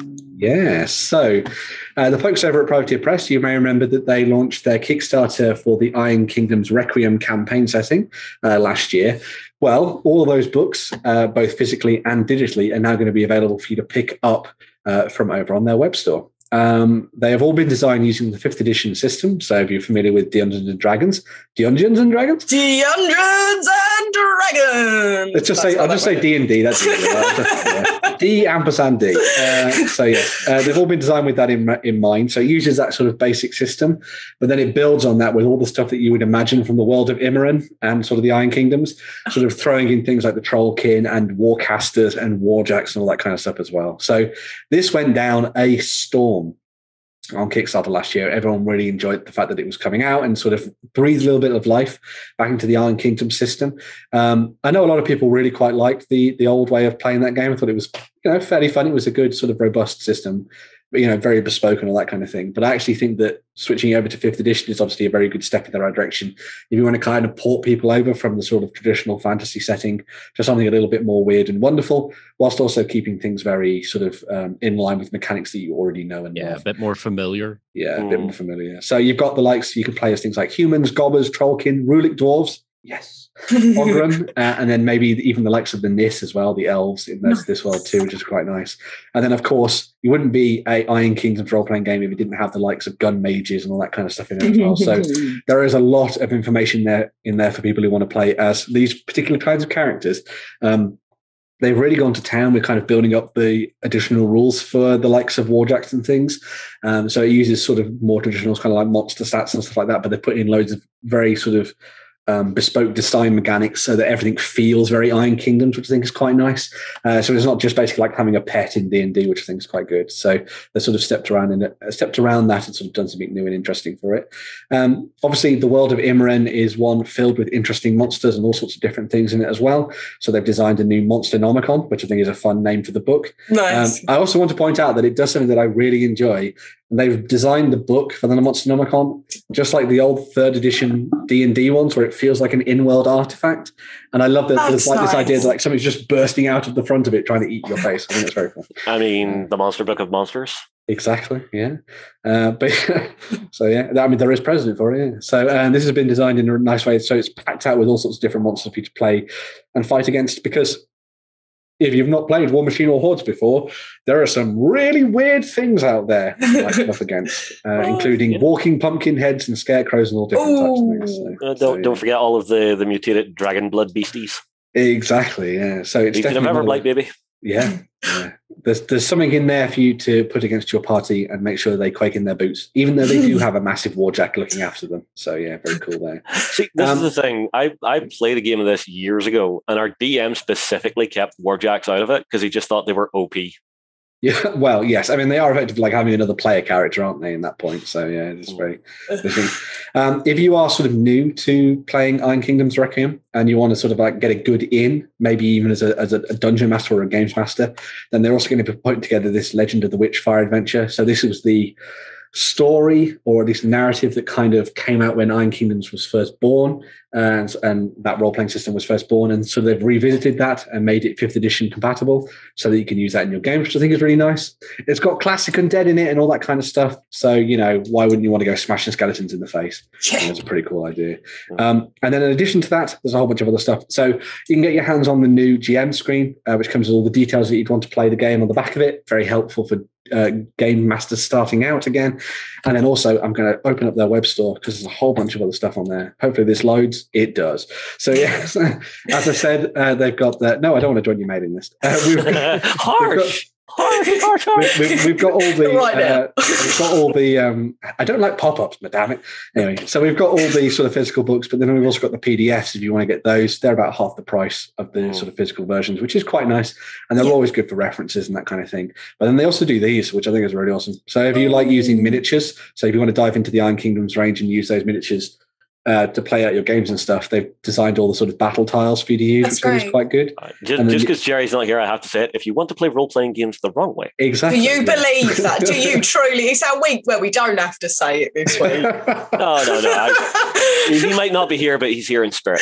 In Yeah. spirit. He's channeling through the beard. Mm. channeling through the beard. Wow. Uh, and then you also have these as well. So you've got spell reference cards, a little bit like what you've seen from Gale Force 9 for normal Dungeons and Dragons. Reference cards for the Warjacks and Mechanika stuff as well. And then you've got some sort of additional toolkits and all kinds of things there too. So it's a very nice little set if you're going to be wanting to play out some adventures in the Iron Kingdoms using the fifth edition rules. Um, as I say, it did really well on Kickstarter. It's good to see it now at retail. And uh, I hope a lot of people go and give this a shot because uh, I definitely think it deserves it. I think the fifth edition system is very robust and can be tweaked and changed in all sorts of different ways. And I think because this is a fantasy world in essence, I think it's a good partner, a good sort of like um, way to sort of bring the Iron Kingdom to the tabletop. So yeah, I some very just- good stuff on that. I absolutely love the Iron Kingdoms as a setting. oh I- yeah, yeah. I fell in love with War Machine so hard. I have some of the audiobooks and stuff, and it's just it's Yeah. such a, an amazing, unique take on steampunk weirdness. Like Mm. Warjacks are my are my vibe. they, Yeah. they are my steampunk tank of tank love. So Yeah. I, Well, I mean, it's magic, but also, have you seen the Warjack? They're rather lovely. yeah, it's magic, but it's a magic powered tank that has the essentially the consciousness of a dog. Yeah. Like it's it's Yeah. great. It, it'll play fetch with you and punch the bad Yeah. guys. Dreamer. I need War Machine to come back. I need Yeah. War Machine back in my life. It I is, mean, it is a very cool game. I'm happy to dive back into some Cygnar. we need to find all the models again. Yeah, true. Khador is the way forward. I have Khador. Massive, huge, clanking warjacks. Oh, Yes. yeah. yeah. And they look even more like tanks than most things. So there we go. Why do you think I like them? yeah, yeah. Yeah. Uh, so yeah, so stepping from one fantasy world to another, uh, free, I believe there's some new stuff coming out for Lord of the Rings, the Living Card game. Yeah, so I've been playing through Lord of the Rings Living Card Game recently, and after I've had the core box uh, for a mighty long time, it's really interesting for me to see the new releases that are being supported in the revised edition. So now starter decks have made their way out to release, and they're providing new ways for beginners to actually stand a chance against the unforgiving world of Lord of the Rings card game. So there's no new cards, um, but it's producing a thematic setup past the core box. So there's more ways for you to pitch in in a cooperative fashion. So it's four different sets. We've got the Dwarves of Durin, the Elves of Lorien, the Defenders of Gondor, and the Riders of Rohan. So all of which are incorporating a new play style and flexing particular themes um, in spheres of influence. So if you like a swarm deck, Tiny pictures. I know they're so small. If you like a Stupid swarm fancy- deck, Stupid fantasy flight games. But anyway, sorry. Dwarf. Did you play the dwarves? Do you play the dwarves in Lord of the Rings card game? I have made a dwarven deck in. Yeah. Uh, of course, I have. Uh, Yeah, well, yeah. exceptionally well. Although my, my, my favorite deck has been my Ent deck, but I, I, I will go is a different time. unbelievable, yeah. Uh, Well, the swarm deck is when you, if you want to do play swarm deck, you're good with the dwarves because they'll help you keep on top of everything. So they've got strength. You're bringing your mighty axes, and it can. This set in particular will contain a series of dwarves scattered across loads of different release titles. So you'll have Fili, Kili, Day9 for ETC. So it is more of a savage play style. It's a lot of fun when you can get all of your dwarves working together like a well-oiled team. You've got the elves of Lorien, so they're bringing more tactics to the table. So they've got like kind of more of a sneaky wood elf finesse. So you're getting the likes of Celeborn, uh, Galadriel, and Haldir in the deck. And they prove to work well with their Silvan allies. So you're going to be able to return cards back and forth into the play area um, when trouble really does hit the fan. Uh, Gondor, Gondor are some of my favourite uh, cards. A lot of my favourite cards come from Gondor. Um, they're great if you like living your life on the edge. Um, so they're often my tank cards. They're a great hack and slash, uh, so you can get through your enemies. It's a great tactic. It comes with a great gamble, though, if you are playing just with Gondor. Uh, you can sometimes overrun the prestige of Gondor, and you're going to need some tactics behind your front line um, to stop you being completely knocked out by uh, the Dark Forces. But if you do it right, the payoff is incredibly rewarding. Um, and if you're in trouble, Rohan will certainly answer as well. So they've got cavalry based tactics. Uh, Riders of Rohan play really well with tactical play. So they are hard hitters, but they're more hit and run. So Mhm. their leaving effects will hang around after they've left the area. So if you are keen on taking a look at these packs and you've already purchased the expansions already, don't worry, as I said, there's no new cards in these decks. They've just been pulled together to allow players with a starter pack pass the core box and venture into the wild and go about it. So let's face it, the core box does nothing at the minute but tell you that you need more cards. And this is exactly what this Yeah, does. yeah. Um, so if you are looking for a specialized deck that matches your play style and want to delve deeper into the Lord of the Rings without having to pick up packs here and there and trying to build your own, the starter decks are going to be great because you're going to be able to cooperate in a challenge as you stumble on new characters as you're going through the adventure and adding on as you go along. Um, especially past the core set because the core set pre-made decks uh, are pretty much just to get you immersed in learning Very much so, everything yeah. about the Yeah. sphere. The thing, the thing that I quite like about these is that it's kind of teaching you, in essence, the way to deal with deck building as well, because Yeah. it looks like it's combining two. Is it two spheres? Two spheres, it looks like, yeah. So, Yeah. so you've got a you've got a nice sort of guide to sort of starting out and making your own decks, perhaps past this. But I think I Mm-hmm. think, as you say, this is a really good way to sort of reintroduce people to the new version Yeah. of the game. Yeah. Because you're obviously doing that new version of the set, which comes with the added addition of kind of like the questing stuff in there as well, which is quite nice. Yeah, And the then have booms it- and the Yeah. And so having things like this to then be the next step while you then attach, you know, have a go at the sort of Forest of Mirkwood I, cycle yeah. and that kind of thing. I think where this would these would be a lot of fun was if you are playing cooperative and somebody gets a Rohan deck and somebody Yeah, gets yeah. a dwarf deck. So if you are cooperating, you can bring those themes together to kind of overcompass what you need to do. I do think it'd be quite hard playing with a one particular theme um, because loads of different factions swap in, swap out. It's a great way to get a full scope. So I do feel like if you are going to buy these solo, it might be quite difficult to stick with one particular theme. But if you are cooperating, it's a great way to get some unknown themes and factions into it uh, Yeah, and definitely. learning and learning what your best play style was for the game as well. And if you want to learn how to play the game and sort of what it's all about, Free has done an amazing series of articles over the last sort of few, few months showing off uh, your adventures and things. So definitely go and check that out. It even features poor Pascal. So, you know. it does. Yeah. He's a nightmare. He jumps on the table all the time, and I have to. He knows it's dinner time past a certain point as well. I mean, So- have you locked him out today? Today I have, yeah. Okay. Good choice. he only gets let in for XLBS. He does only get Ah. let in for XLBS. He's only allowed, otherwise it causes too much of a havoc. This Yeah. would be down by now. The previous For any- XLBS for anyone- was attacking. For anyone who hasn't watched XLBS, it just sounds like we're talking about someone called Pascal that we use as like a strange weekender monkey or something. yeah, I let him in.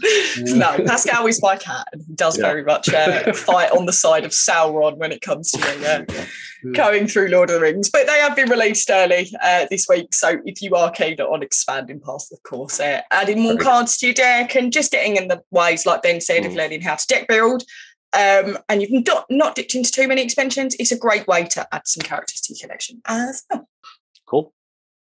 Uh, so we're finishing things off uh, for this week's news with a little bit of Games Workshop because we have to talk about them because you can buy them from us. It's great. Uh, we have some new combat patrols on the way for you to pick up. So these have been teased already. So uh, we won't gild the lily too much when it comes to these. But uh, there are two new combat patrols. One for the Grey Knights, uh, which you can see there, which comes with a whole host of uh, fantastic um, demon slaying individuals. You get your Grey Knights in the, the Terminator armor. You get five Grey Knights in Terminator armor as well. You then get five Grey Knights that can be built in a various selection of different uh, configurations. You can build them as a strike team, an interceptor team, a purifier team, or a purgation squad if you want to, which is quite nice. And then you also have the Nemesis Dreadnought in the background as well, sort of lording over things with that pretty cool sword. I do like the sword. uh, I don't like the baby carrier space marine. Yeah, that's quite Uh, interesting. No one ever has. Yeah, no one but, ever uh, has. I think it's very cool, especially if you do some kind of like kit bashing with that in particular. But it's a very nice little set. I think this one very elite. I've seen someone convert the Dread Knight to be orcified, which was quite cool. I Oh, was going to say pretty it would be good if someone could steal it and, and wield it. If that Oh, the, makes trust the orcs can steal and loot. anything. Yeah. They can they can loot a, a Carnifex. I will Yeah, say it's a it's about damn time the combat patrol for Grey Knights did come out because Yes. it's a I just it may be my third arming Ooh. maybe. I, I gotta say, I think there is there is something about the Grey Knight aesthetic that I think is really fun, and I think Yeah. it could be really fun to paint. Yeah, and you can do although- them in a, in a traditional style or something different. yes, I or- I have a test mini already done. Oh, oh, oh! Of course you do. Oh, Yeah. Uh, but yeah, so as well as the Grey Knights, um, the sort of other side of the coin, uh, we've got sort of psykers that are anti-psykers, but then also psykers that are like, I love psykers. We have the uh, Thousand Suns on the other side. I don't know what I was doing there. Um, so this is a new set. This kind of like builds on what came uh, as part of a, um, a sort of like big boxed, big box battle game a couple of months ago. Yeah, lots of things. So yeah, so this uh, comes with your five Scarab Occult Terminators, the Infernal Master that you saw at the front there as well, which is pretty awesome. And then you get all of those Tzaangors. So you've got like this. that are completely useless now. Yes, Yeah, these are this- utterly useless. This this disappoints me slightly. I just want more Yeah. Rubric Marines in this box. yeah, I know a lot of people would have liked maybe 10 Tzaangors and then that's like a squad of five or something for the Rubric Marines. I think that Yeah, would be pretty cool. But uh, Um, yes, you get more minis in this, but it, it feels like you're getting less because you don't have that like a big centerpiece miniature with it. yeah. 20 of them are completely useless out of the 26 in the box. Yeah, yeah. Let's, let's not let's not gild the lily here at all. This True, this is yeah. not the strongest No. combat patrol. no. The, the, the Grey Knights one is is pretty fun, but I think this one would probably take a little bit of tweaking. Uh, Uh, this- maybe that this would, one- maybe this would be for finesse players. But Well, th- this but one yeah, for me fell short of the mark of where I would want Yeah. it. yeah. Cool if you collect chaos demons as well, I guess. Yeah, That's true. Yeah. Um, it should be noted, obviously, that these are named as uh, combat patrols. So these are all done sort of so you can kind of essentially play them out of the box.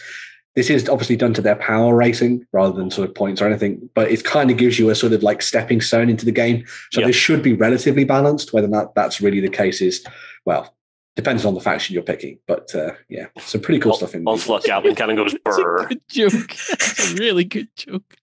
Anyway, uh, as well as the two combat patrols that we see there, we've also got two releases for the couple of plastic miniatures that are coming out as well. oh, Um, so you've got Castellan Crowe, who is Finally. just amazing. Um, give me he, him now. he he was available in the the box game that I was talking about uh, from Yep. a couple of months ago, but now he's available separately. Uh, you can either have him in uh, this format with the helmet on his head, or you can change things out and just have him with his bare head as well, which is pretty cool. Oh, he's Um, so good. I love the demon sword. You can't Yes. really see Yeah, it very I'm, well. I'm That's- wondering yeah. why a Grey Knight is wielding a demonic weapon. Because, he because he's so badass. That's why. Yeah. All right. Read his lore, dude. Read his lore. His lore's great. He's insane. That's Oh, gorgeous, yeah. Minnie. Aren't they all? Yeah. Well, yeah, that's true. So you've got Castellan Crowe there, and then obviously the uh, Infernal Master, which was the other miniature that was available in that Combat Patrol, and the big box game is now separate as well. Summoning demons from the Rift to do battle on the tabletop. Very, uh, I, I'm getting kind of like cow elf vibes from this guy with this sort of like weird backpack and stuff. See, whatever way they've painted this, this looks more like a 3D render than an actual miniature. It does weirdly, actually, doesn't it? It, does- does. it, it looks Yeah. like it doesn't really fit together. Yeah. odd, but yeah. It's, it's very weird looking. Mm. It's, It's the um, cape, I think, that's doing Yeah. it for me. yeah, and, and- and that fire, the way they painted the- the fire. The flash of burgundy is just distracting me a little Yes. Yeah. Yeah. But, I don't know. uh, There, there's something very uncanny valley going on here. Yeah. The interesting thing about this, though, is it kind of obviously fits into the idea that the Chaos Space Marines wear slightly more of that archaic armor bit. that they Mhm. wore back during the heresy. So this kind Oh, of yeah. like fits into that. So Yeah, that's like a Mark III Yeah. armor, I think. yeah. So if you've got some uh, Horus Heresy plastics, for example, or maybe from the new Horus Heresy plastic start set that's not coming out but probably is. um, I, I, I, I honestly don't. I, I honestly don't know. But anyway, uh, this could this could be a really good fit for that if you want to kind of do something sort of Horus Heresy and uh, uh, Thousand Suns. Obviously, just paint them in a different color because obviously you need them in red. I think it's red, wasn't it? Red. Yeah, it was. Thousand Suns. Yeah, It was. So, yeah, some fun stuff there. But yeah, so some really fun stuff there for uh, 40k. Well, some moder- moderately cool stuff for John to play with in 40k in the near future. Some really nice miniatures as part of those combat patrols and those new characters as well. Uh, it's a nice little sort of um, entry point for people who maybe missed out on the uh, box game when it released last year. But uh, yeah, they're finally sort of catching up with themselves, Games Workshop are. And the Tyranid one shouldn't be too far away, which should be quite nice to dive into. About the crew. Is that close, do you think? As, as, as much as don't, we Lloyd, don't talk about the crew. They've As just had what- their codex. No, there's no more crit coming. there's nothing else coming. Uh, well, you never know. If Lloyd bugs the people in the kind of like Oh, web chat enough, maybe they will eventually get around to recent crew. We'll I'm. I'm, I'm, I'm honestly amazed he hasn't started a petition. Give it time. You know, open time. letter to Games Workshop. Please give Kroot. yes, yeah. Well, maybe we should make Lloyd do that now. He's got his new place. We should do that. Yeah. Surround him with Kroot and then just let him go. That'd be the way to go. But yeah, so yeah, uh, that was the uh, news uh, for this week. Hopefully, you saw something there that was quite interesting. That you want to dive into a little bit more detail. You can always check out the links in the description down below if you want to follow a little bit more of the news and see what else we've been talking about. Some really interesting stuff that came out this week that we didn't manage to fit into this weekend. Uh, we're going to take a little bit of a break and then we're going to be back to talk about 3D printing and how much of a shizdash it is. So, yes, see you soon.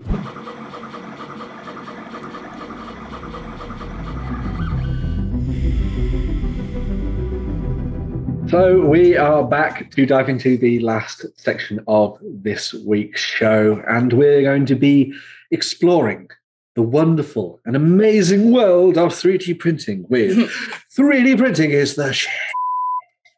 You don't know what I actually said as that last one. You're really trying hard to be theatric in this episode. I have to. I have He to has make to. up for the amazing and voluptuous Jerry. That The absence of. Jerry. Whoa, Yeah. whoa! When did Jerry become voluptuous? He's a sexy man. Uh, I yeah. just do- okay, Ben. Okay. Hey, It's a lot, he, he, he feeds me indie games and indie miniatures, so you know he, he has. So what, like- love, so, Like sweet chocolates on a chaise long. Yeah, you Yes. go indie, indie, Yes. my love. yeah, yeah, Chef's kiss. yeah, pretty much. But anyway, back to miniatures. That got weird. Uh, we, uh, so uh, as I was saying, we're going to be looking at some 3D printing stuff uh, at the moment, and um, after last week, you would be forgiven for thinking that we all just care about Mork Borg and amazing, uh, dark, twisted fantasy stuff. Um, but actually, you're right, uh, because I picked a company that does amazingly twisted and weird stuff called Bestarium or Beastarium, however you want to say it. Stadium. How twisted are we talking, Ben? Oh, so twisted. And I think Justin's way of, expe- of saying the title is the best way to go. So uh, this is go for it, Justin. Stadium. There we go. I'm gonna get. Can we just now sound cap or whatever like, cap, capture that and then Oh put god, over someone's gonna put that on a soundboard, Yeah, and yeah. ev- it's just going to be ba ba ba ba ba. Stadium. YouTube will clip this. Yeah, yeah. So Bestarium Miniatures uh, has been around for, for since last year, but they do a range of fantastic looking and utterly grotesque miniatures for you to use in your role playing games, in your uh, tabletop war games, skirmish games, whatever you are. Halloween so- decorations. I was looking Halloween decorations. Yeah, I mean, Um, Valentine's Day gift. you could exactly. You know, ev- everyone's got a Oh wow! So yeah. So these are just think Diablo, think uh, sort of Dark Souls, and then mush That's that together grim. With twisted Warhammer art and design from the olden days, uh, and then a little bit of Mork Borg and all that kind of stuff as well. And that's when you get these amazing miniatures, as you can see here. I mean, do you Um, remember the old Wesley Snipes Blade movie? Oh, what do. Balthazar inside? Yeah. Are you talking about Balthazar? The yeah, the the Asian vampire that was just like a puddle. Yes. That is that is very yes, yeah. I think that works quite nicely there. but um, yeah, like everything that they've done is perfectly awesome for anyone kind of looking to do sort of wow. twisted and weird wargaming on the tabletop. Um, I think, as I say, this would be perfect for anyone who's doing Mork Borg and that kind of thing because it just fits that so nicely. But I think you could. I, this is the kind of stuff that I think people who are interested in the uh, 28 movement would be really fascinated by. So that's kind of looking at sort of old, sort of Blanchitsu style stuff. Like imagine that painted up in a Blanchitsu style with like Oh. yellows and sort of warm reds and all that kind of thing. That'd be amazing. See, Yeah, I, so- I would do these guys in like acid greens and do like an awesome Nurgle Right. army. Yeah, that's a great would be idea. cool. Yeah, I think that would be amazing. I mean, look at that. Oh my god. Yeah. That's definitely a hugger. See, I'm just looking at a strange place in there. They've got strange places. They've got ears and stuff. You know, the, the odd places. There's an ear at the top of the head, next to the eyes, that looks like the start of the head. that There's forms even little. its- There's even people crawling out of its Oh. maw and everything as well, which I think is really nice. It's so cool. S- Sinister, isn't I, it? I mean, French kiss on the first date. Mm, yeah, if you get out. What's quite nice about these as well is that they come with this kind of sculpted base design as well. So you get Mm. the model, but then you also get the base too, which is really nice. It's Yeah. really cool sort of addition to that. Um, let's have a scroll down through, see if there's any more that sort of catch your eye. Oh, I love this one. I'm gonna go for this one. Redemption. Undead Knights. Yeah, Oh. go down one from the Undead Knights. Oh. Uh, Hammer there, Knights. that one. I Hammer got Knights. those, yeah. Want to see those? Stop hammer time. I'm going to get the Wolf of Calden because I think that's pretty cool as well. So look at that as well. I mean, look at that. Oh, That's Golem. straight out of Doom. it, Yes. yeah, it is, isn't it? Yeah. Mhm. Mhm. The wings are beautiful. I'm also going to say one piece, no need to assemble. it. Whoa, that's great. Ooh, That that's an interesting challenge. Yeah. Is it That's pre-scaffolded or no? Uh, Uh, well, it probably is. Yeah. pre-supported or there non-supported. Yeah. Okay, you so you have both options. Perfect. yeah. Because trying to support something like that in one shot would take quite a while. Well, Yeah. Justin, those of us who are 3D printing experts. Yes. Mhm. Yeah. Um, yeah. I finally Yeah, get th- in fact, public. there's the thing. This is the first time the two 3D printers from the main office are in the same. I was going to say I defer to Yeah, John on all things 3D printing now. I'm afraid. So Yeah. I mean, to be fair, to be to be blatantly fair, if there's if there's people supplying 3D STL like STLs now for miniature collectors Mm. who aren't making them pre-supported, Oh yeah. I wouldn't trust them because if they know how the supports work for their own miniature, then they've engineered it correctly. Yeah. You know, they haven't just made something cool and just thrown it out there. They've Yeah. actually thought it through. Oh, The Oh, shields are amazing. They are Yeah. so that is like World of Warcraft undead like friggin' oh It's like druggers on acid. yeah. you eyes get are the- fantastic. Oh yeah, Yellow. I like that. That's that's a really nice way. I think that'd be a really cool way to paint them. Definitely. Yeah. I like that. Uh, you were saying there just in the Draga theme of that kind of like almost emaciated body. I think is a really cool look Mm. rather than making them normal skeletons. I think that's a really cool Mhm. sort of addition. Yeah. I wish this pop up would go away. You need to get ad blocker. yeah, but yeah, amazing stuff there. I think that I think uh, as you say, Yeah. here are those hammer knights. Oh, that you're talking there. Yes. All of my yes. And they're Oh. carrying a massive coffin on their back. Yeah. Now imagine you were playing Turnip Twenty Eight or Sludge. Yeah, Those would be amazing for that. Just Again, ima- they yeah. would. I would just use them as straight up Chaos Warriors. You could, yeah, yeah. I'd love to see someone making um, make an order army for Age of Sigmar, Mm. but use these as Stormcast. Imagine that. Yeah, like that could really work. Twisted, fear. horrible versions of them Yeah. that maybe like live in Shyish or something. That'd be really cool. Yeah. I mean, what would you even begin to call that weapon in the middle? A double mace? A, a mace stick? Um, Mm. a- a flail with two a flail with two S's? I think it's the one or do they have reverse jointed legs? Yes, they do. Yeah. Well, they have Yeah, they yeah. have like demonic feet. Yeah, Yeah. oh, yeah. very Yeah. Find that- any shoes to That weapon in the middle is the two for one brain removal device. That'll do Ah. it. Ah, That'll do it. What have you done? I don't know. I've left all the pretty things Stop. behind. Clicking. Oh, look at leave the this adverts. Armor. So here's the Wolf of Caden. I think that's amazing. I like the way they're doing a regular scale beside it. Yes. So that's Yes. like a, So- that, I'd say that's like what? Yeah. 32 You know what mil this is? normally. So yeah. This is So- what Leman Russ looks like when he comes back. yeah, yeah. it's got the wolf armor, but it's almost standing on wolf legs. Yes. That's Yeah. really cool. Yeah. Yeah. Kind of fits into that weirdly quite bestial look. I think it's quite nice. The And mm-hmm. beast then he's got like yeah. a pole arm sword yeah. of some description. Like a big, yeah, it's like almost a sword but also a spear at the same time. Yeah. It's Mm. very nice. But like, I, I just love how like twisted and Yeah. me- metal these actually are. It's such They're a cool very way Yeah. of making unique. it. I mean, they wouldn't be far off sitting on front of a Metallica album. Yeah. So we've got all that one. there, Not heavy. nice. Sorry. We saw that one as well. We saw that one, and we saw that one. So this is another one of the ranges that I wanted to dive into as well. So they, as I said, they do kind of stuff that's been designed for D and D. Yeah. So these are D and D characters, but with a Bestarium sort of twist. Bestarium. Nice. Bestarium. yes, you've got. I, want- you just need to put that on every time I say Bestarium. Bestarium. Yeah. So this is kind of like cleric, paladin, uh, Oh, like a fighter, and like a, a sorcerer mage but Oh. done in their style. So they're like properly like Dark Souls and Yeah. twisted and horrible and weird. I am loving that sort of like druid style with the armor. Yeah. Mhm. Really cool. Not even like they're that horrible. They just look like utter badass. They do. Yeah. Yeah. Yeah. This this is the amoral, like lawful evil party, I would say. I like to It's think like that we're rocking into your village. Of course, we're going to save the day, but you know we're, we're probably going to rob you while we're here too. Just- People just will probably get slaughtered in the crossfire. Yeah. oh wow, that's the demons that he's tethered to himself. That's pretty cool. Yeah. Mhm. Wow. Yeah.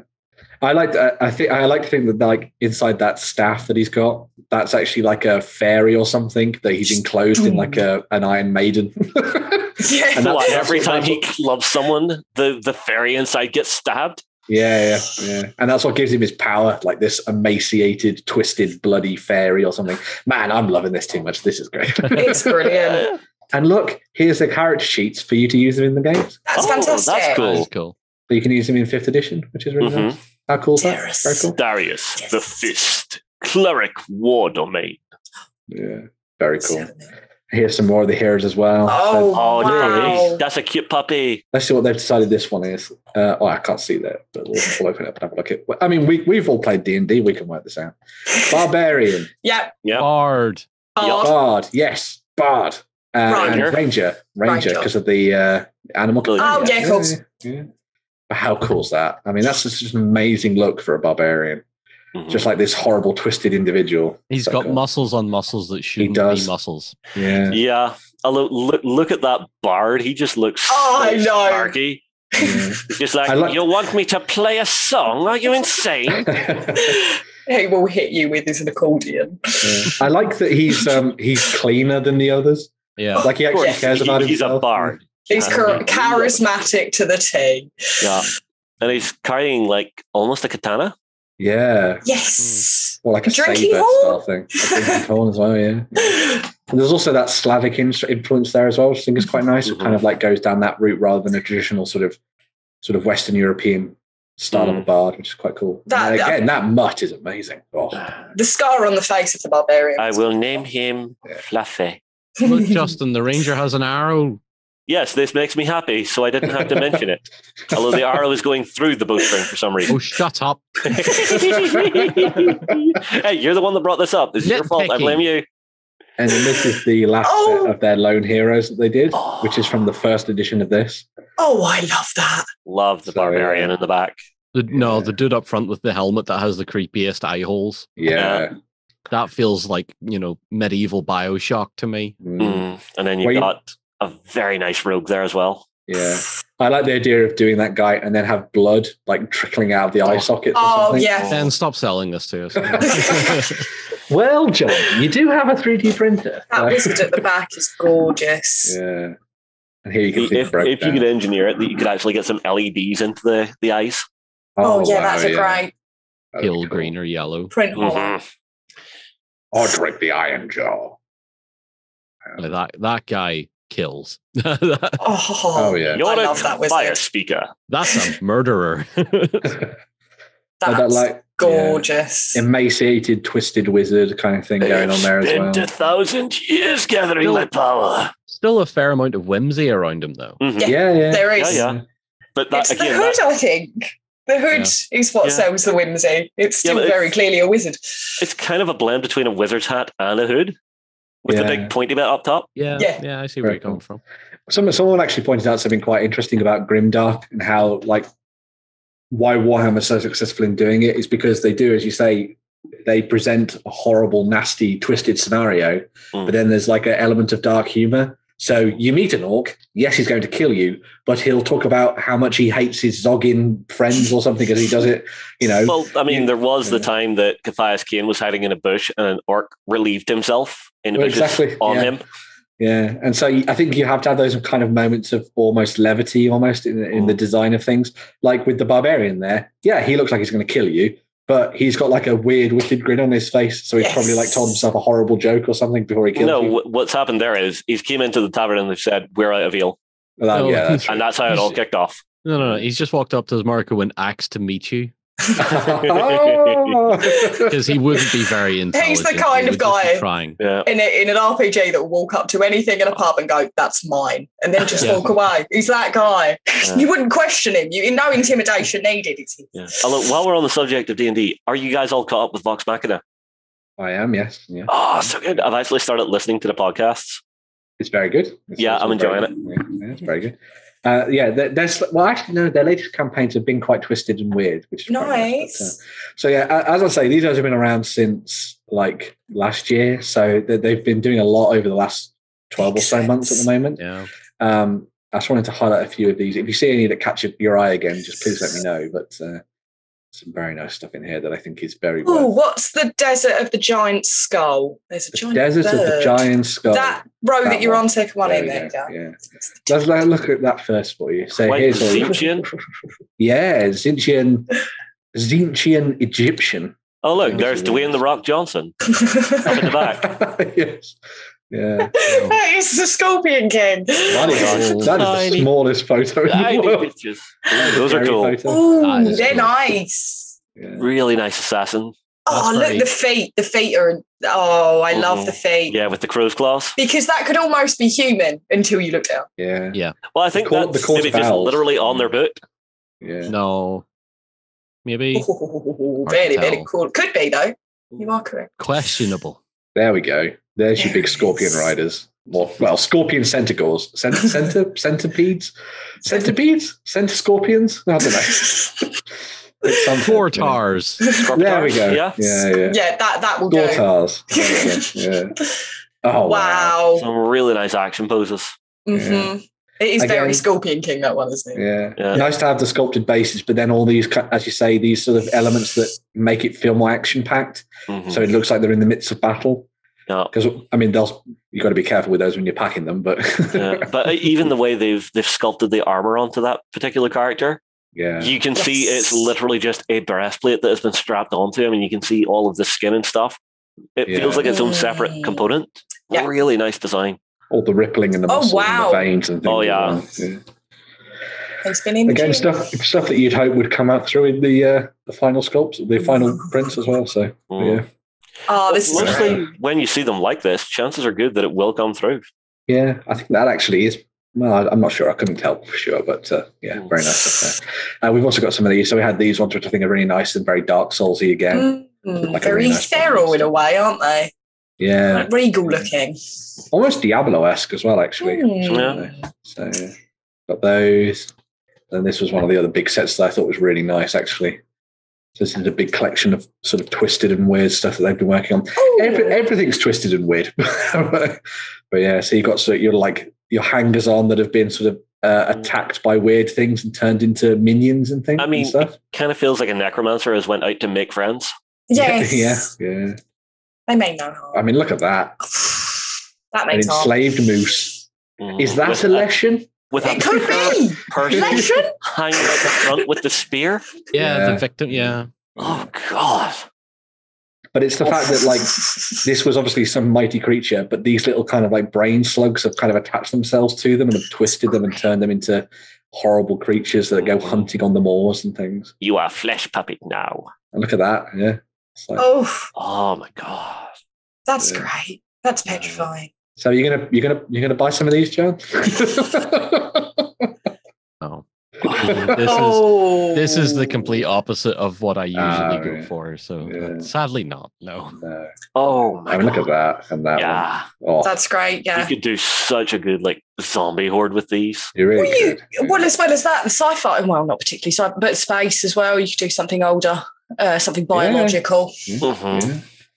Yeah. You could like, like yeah, you could just remove something like the shield there, Yeah. and that's like combat, like almost like archaic combat arm or something. Yeah, Maybe well, I mean, like if, shock sticks or something. and stuff. if you paint it up like it's say a Kevlar plate that he's wearing, Yeah, yeah. Easily get over something. I mean, that's amazing. Oh, yeah, alien feels and things. It's grim. It's Yeah. beautifully grim. So, um, as you can see here, as part of the collection, uh, they have a whole range of um, different things for you to pick up as they've been going for a year or so up until this point, and they look like they have no signs of stopping. I know a lot, a lot of people have been diving into this and painting them up for their own uh, amusement on the Mhm. tabletop. I know there was a particular model in here that I think everyone has been printing on Etsy. Uh, that's that guy there. There, I'll show. I'll just show him off. Look at that. Oh. I Oh wanted to be a church, but Mama said no. I mean, look at the, the end of the spear with the hand like this. Bless you, my Yeah. child. Stand. Oh, this is like Pyramid's head's thinnest cousin. yeah, yeah. The Yeah. religious cousin. Yeah. So, yeah, Uh, amazing Lo- stuff. Loads crossbow with religious intent. But yeah, May the so- power of Christ be with you. as well as the, the bundles and things, they also have their tribe. Um, so a lot of um, creators now will obviously have their patrons and their My Mini Factory, but Tribe is the kind of My Mini Factory is the kind of Patreon within My Mini Factory for you to go and check Mhm. out. Um, so they've got stuff that comes out every month. Uh, the most recent one was the Penitent Oh. Crusade, which you see there. There is actually a better picture of that that I'll find in a second as I scroll through. Uh, let me just go and find it while I'm chatting away. Um, Waffle, go. waffle, waffle. Oh, there we go. That was the uh, that's the March bundle that you can pick up. oh, So if you're interested in playing around with twisted and weird religious like, occult sort of stuff, going on all all I'm well, hearing isn't it? bring out your dad. Bring out your dad. You know, I'm not quite is dead yet. You know what all this is actually reminding me of? It's it's Kingdom Death with more humans in it. Mm, yes, yeah, Yeah. yeah. Yeah. it? It's just more. It's Kingdom Death, just really, really more Yeah. humanized twistedness. Oh, look at the, the barbed hook weapons down the center front there. yeah. Those are terrifying. Mhm. Will it load? Come Damn it, it's on, too big. There we go. but yeah, Get a lot in there. What's quite nice about it is that you get the character models and then you get the because obviously these 3D prints you can print them out as many times as you like, but you Mhm. get four of those, duplicate that up, you know, to a squad of twelve or something. That's Yeah. your unit of warriors in pretty much any fantasy game, basically. I mean, you quite could nice. do like a Dark Empire yeah, yeah, pick for Warhammer Fantasy if you wanted to go Yeah. back to the old world. Very much so. Yeah, uh, but they've they've obviously got that coming out this month. Uh, they also do. They're also working on a revamp of some, one of their uh, older kits. So there's this one, which is going to get re uh, has, has been sort of twisted and updated. I've said twisted so many times. Twisted. happens- That what is happens though, Ben. When the dungeon comes for you. exactly. Yeah. yes. Yeah, it's amazing. Oh wow! Um, I've just seen the bodies in the middle of in the cage. Oh, yeah. Going, Yeah, in the oh. belly. And Like look at a- the other guy with the hands are actually the cages. Yeah. It's like a bloody wicker man. That's terrifying. Uh, Uh, but yeah, But so if, if you join them on Tribe, uh, you can obviously get your hands on these uh, particular miniatures. But they also have this free welcome pack. That these, so this is all the things you get for free when you sign up to their Patreon. Uh, well, not Patreon, their Tribe. You get all of those di- different bits and pieces to try out as soon as you get started, which is pretty cool. You can also buy them separately if you like, but you get a big one and then also a couple of sort of smaller miniatures and then the terrain features as well. mm, Uh, but it's a pretty um, awesome looking one to go and check out. So, if you're interested in 3D printing something uh, evil for use in your games of uh, Mork Borg on the tabletop, then I would recommend going to check out Bestarium. Say it again, Justin. Stadium. There we go. Hey. Pick those up and use those on the tabletop. Some really fun stuff for you to have a look at there. But I think uh, you'll agree it's pretty cool. And uh, as is the case, they've been around for a while now. They're on Facebook and all those kind of um, social media platforms and that kind of thing. So if you're interested in learning a little bit more, more, more about their range, maybe seeing some people paint them up yourselves, there's loads of links on there for socials and that kind of thing. So you can go and um, have fun talking with the rest of the community Mhm. that has been uh, playing around with those miniatures as well. So yeah. Did you win one of our prizes? Find out on our prize claim center over at ontabletop.com. Here we list all our previous prizes and those who have won. If you see your username, fill out the form to claim your prize. All prizes must be claimed within 30 days. We're going to get a little bit more whimsical and happy. Well, like more light-hearted now. a little bit more lighthearted. Yeah. yeah. Uh, so, uh, free. You're about to tell us about a uh, crowdfunding campaign from over on GameFound that everyone should go and check out. Mhm. So, if you enjoy your fantasy and want to step into the role of the mighty druid, Oak is on GameFound by uh, Game at the moment. So, you've got flex strategy, and you're taking one to four players are going to be in taking the role as druidic leaders. So, they're in charge of their own order. So, jobs don't fly out of thin air. They're going to need to take guidance from the sacred tree. So, the tree doesn't give its age old knowledge freely. Therefore, players have got to prove their worth by meeting objectives and hope to gain the secrets that the tree holds. So, how do you prove yourself to a tree? That is the question. So, a flock of druids will be heading out on several different trips and temples collecting artifacts. And all this unlocks hidden powers, which will send the player into conversation with mythical creatures that are going to need your help. So, all of which establishes the place of worship so the order can grow uh, in strides and hope to create prosperity across all of the lands. I just want to mention what Ben is saying there. Yes, they are little add ons to your meeples. So That's when you- so cool. Mm, it's have a doubt just adorable. Um, so more of board that's covered, you'll get more grips uh, and more that your order will become into. So missions start small, but more power comes to the order and responsibilities responsibilities will grow the further you go in the game, just to make sure that you are truly committed to the tree. Um, your leaders, as I said, is going to get upgraded into elder druids, uh, and they have a wider uh, span of influence that can upgrade actions later on in the game. And as I said, the different druidic clothing pieces that you can add that represent that is just darling. They're, they're fantastic. I really do love the additions to the meeples.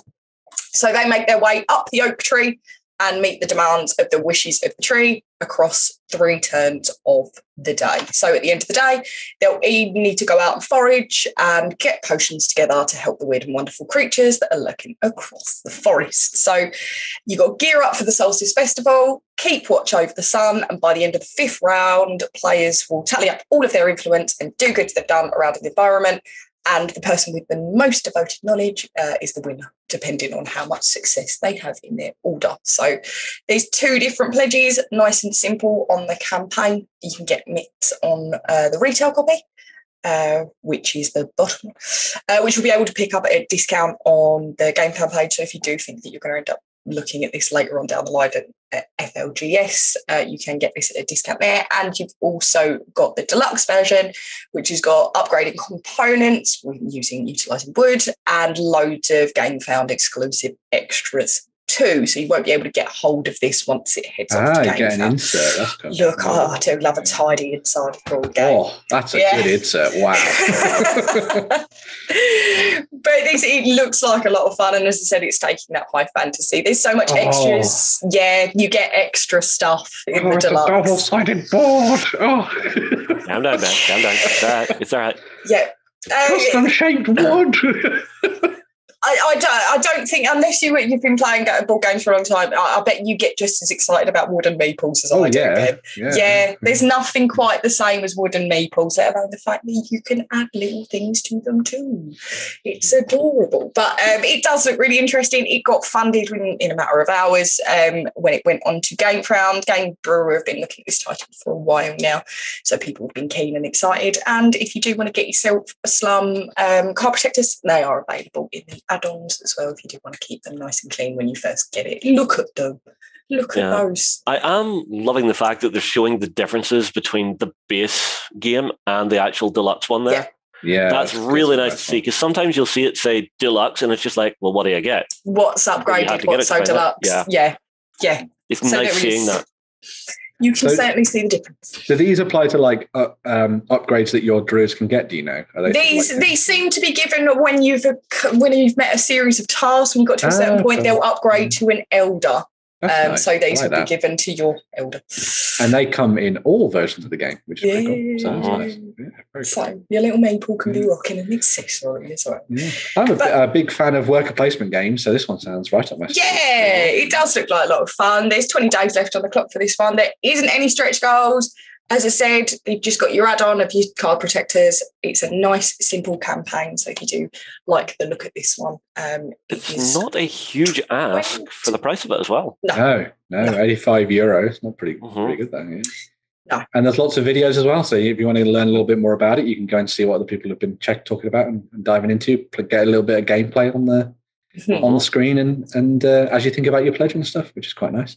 So it also said it was one to four players as well. I think it was. Wonderful. Yeah, it'd be interesting to see going off on your own. I love a solo board game as well, so it'd be quite nice and Oh, fulfilling, as it were. Oh no, they're darling, aren't they? They're just Ben- adorable. Level of want increases. Well, I Sorry love I more love. Everdell because it has like really nice, lovely Yeah. components, and it's set in the wood. And so this has really nice components, and it's set in a wood. So like, what? Yeah, yeah, yeah. Yeah, this is where I'm at as well, Ben. I'm very, very much in a similar boat. very nice. Just missing the anthropomorphic animals. That's true. Yeah, but yeah. Mythical So creatures. yeah, if you're interested in that one, uh, what? How many days was left? 20 days left on the days. clock. That one. Very cool. Yeah. Cool. So uh, we're going to close things out uh, for this week on the Weekender with uh, just one more Kickstarter for us to dive into. Uh, we talked about old school role playing games and stuff uh, throughout this show. When we looked at that indie, and of course, when we looked at some Bestarium stuff as well. But, The stadium. but there we go. You're not getting away from this one. no, no. So the This is over- my favourite thing ever. I hope you continue this forever. Yeah. Hey, It's maybe gonna we'll be see on my them at Expo. Yeah, yeah. Uh, so, as well as uh, some really nice miniatures and things, it's also a role playing game for you can check out from it, guys at Exalted Funeral. Um, so, this is a new Kickstarter that is looking to bring to life a set of classic role playing game books for you to use on the tabletop. Um, it's going to be sort of split up into two. So you get the two different box sets. You've got the classic game set and the advanced expansion set. Mhm. Very similar to kind of like old school OSR, if you remember that from back in the day, D&D. You'll also notice that the artwork that they're using for this one is very similar to that kind of art style from back in the day as well. Um, the game itself, the role-playing game, is very similar to traditional Dungeons and Dragons. Uh, it kind of takes, as I say, that sort of 70s and 80s style of role playing Nice. where everything is very hard uh, and you know things are not stacked in your favor. You are probably going to die if you come up against a bunch of stuff too quickly. It's all about planning and sort of uh, Kill those rats, about- get those levels. yeah, kill rats, get levels, but one of those rats is actually a massive demon and eats your face. That's the kind of thing we're looking at with this one, which I think is quite nice. They've kind of perfected this as part of like the um, indie community over the last couple of years, and so the intent with this is to kind of approach those old school, old school RPGs, but in, with a new design philosophy. So all the books have been laid out really nicely. All the artwork's really good, which we'll see in a little second as well. Uh, and they've really sort of approached this from kind of like a, a, a love letter standpoint, looking back at those old role playing games. As you can see, it kind of has those classic old school uh, classes and things in it. So Mhm. you got things like the acrobat, which I think everyone who's played sort of old school D and D will know. You got your bard, your illusionist, your knight, the magic user. I love that. It's not. Oh, It's not sorcerer or like wizard. It's magic user. You're is what you are. allowed. Yeah. Yeah, They- that, they- that that's so open ended. You could be Yeah. anything. Exactly. They they've stopped short of making elf a class as it used to be in old D and D. So that's quite What nice. is the last name in the races? uh, the Sphinab- uh, Sphinable. Sphinodin? It's it's basically like a, a Nordic gnome kind of thing. Okay. Oh. I think so. Yeah. So it's. I- an I'll, I'll just call it a like- Blin. Yeah, or like a dark gnome. I think is the is the way that is. I'm call it sure Blin. someone It's can- fine. yeah, yeah. I'm sure someone can uh, correct me in the comments if I'm wrong there. But uh, Mm. yeah, some very nice stuff. Um, as I say, it's kind of broken down into the two different sets. So you get the classic game set, which comes with these really nice sort of A5 books. So you get one for characters, magic, adventures, monsters, and treasure. Uh, so these will kind of like guide you in the making of characters, how to use magic, all the different monster for you to face. I think there's like a hundred plus monsters in this book, which is pretty cool. And it's like I think it's over a hundred pieces of treasure or something as well. Mm. And then that's your kind of like starter adventure book, which is quite nice. Mhm. Uh, they then sort of like upgraded this with, and as you can see, well, sorry, I'll, I'll talk about the uh, the layout and stuff. I think this is really nice because it's kind of like taking the old school tables and things and reinvented them in a much more readable way. Mm. Um, because you normally it was like reading through a textbook, but I think they've done a really good job of kind of supplementing these with art artwork and stuff to make it very nice and easy to get stuck into. Um, so yeah, there's where your, your all your old school monster stats and things, which is quite nice. A very fun of final, uh, not Final Fantasy, fighting fantasy style skeleton there on the. Mhm, It's a little bit Jason and the Argonauts. Yeah. Yeah. Oh man, that's such a good scene. I need to go watch that again after this. Uh, we've also got the advanced expansion set. Uh, so this kind of adds a few more. Um, I think it's nine more character classes for you to play as. oh, Uh, A hundred more spells, loads of new monsters, and a whole bunch of extra treasure items as well. So this is again sort of like you know you had sort of D and D and then AD and D. This kind of adds a little bit Mhm. sort of an extra level of fun stuff onto the uh, the experience at the tabletop. And there you can see, yeah, you go nine additional classes, which is pretty cool. So yeah, That's very nice stuff cool. there. Mhm. And then again, very nice layout and everything for these two. Yeah. Uh, there is also this, which is the Ultimate Dungeon Bundle. Um, so this collects together that, uh, the two different book uh, sort of slipcase sets. So you- each of those, so that, I mean, you've got like nine books across those two, and then you get each of these adventures. So there's six of the old school essentials Nice. adventures, and then there's a special one done by another one of the authors that's part of their campaign. And then you get that really nice old school D and AD and D style Mm. uh, GM screen, which I think is just fantastic. Mm, Uh, we're pretty- very much diving into the old school, I think, with the start and end of this episode. But uh, Mhm. yeah, very cool there. Um, but yeah, so there's a couple of different options there. There's also um, retail elements as well. Yeah. Nice thing with the stretch goals is they've approached this from the um, the standpoint of kind of upgrading what you already ha- what you're already getting. Mm. So they're not necessarily adding in new books per se, but sort of things like new monsters, new races for you to play as, so like the Dragonborn and the Tiefling and that kind of thing, which is quite nice. And expanded section on gear and all that kind of, kind of stuff. That's good. More to the content. and there is yeah. more to be unlocked. Yeah, more things like dice and all sorts of things there as well, which is quite Oh, good. nice. Awesome. But yeah. Really awesome. lots and lots of additional things in there as well. Um, what's quite nice about this too uh, is that you also have access to some free resources as well. So That's Necrotic great. Gnome, which I think is just an amazing name to begin with, um, has also done a, a old school essentials basic rule set for you to download. So if you want to see how the game works, uh, whether or not it's for you, you can go and just pick that up. So it's just a PDF download for that one, and you've got all the different sort of assets that you need for uh, playing around with this. There's also, as you can see, the third party license thing. So if you want to make your own stuff using their old school essentials rules, Oh, you can do that as well, which is quite good. So yeah, Cool. there you go. So yeah, some nice stuff there from the folks at uh, Exalted Funeral. hmm I'm going to scroll all the way back to the top and make you sick. there we go.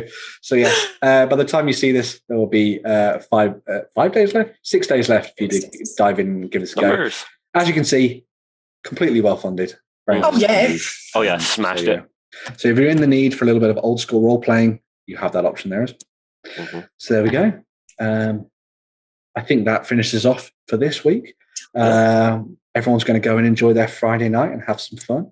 Um, that may just involve sitting at a computer painting terrain, which is my my pursuit. But there we go. well, Um, I'll, I'll, I'll be hunting out some Space Marines. Yeah. Exactly. Oh yes, Yes. we've, we've been tasked now. That's true. Yeah. Uh, but yes, uh, that brings us to the end of the weekender. Uh, I will just go back to what we were saying at the start of the show. Tomorrow, we're going to be holding the big UK Games Expo Mhm. live stream between 12 and 2. We're going to be giving away absolute mountains of prizes through some really fun things like quizzes and all sorts of things like that. Uh, we're also going to be talking to a bunch of different uh, companies and designers and all that kind of thing as well. So it's a really good opportunity to dive in and find out what UK Games Expo 2022 is going to be all about. Uh, obviously, we're going to be there to talk, talk you through everything uh, in the chat and on the screen as well. Yeah. We also have on Sunday the uh, release of the um, the uh, the Spring Clean Challenge as well. Mhm. So if you want to dive in and check that out, uh, then make sure to do that. Find out your found all your old dusty miniatures, Mhm. like those Space Marines that Justin was uh, mentioning. Yep, they're probably Uh, very dusty. those. Although, Yeah. while I remember, uh, while I'm thinking about Expo, I actually have a little something for you and Free Ben for when we're Oh. at the show. Oh, oh! I found the um, forbidden chocolate.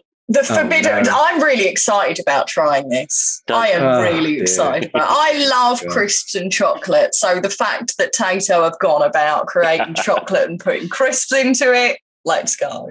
Well, there we go.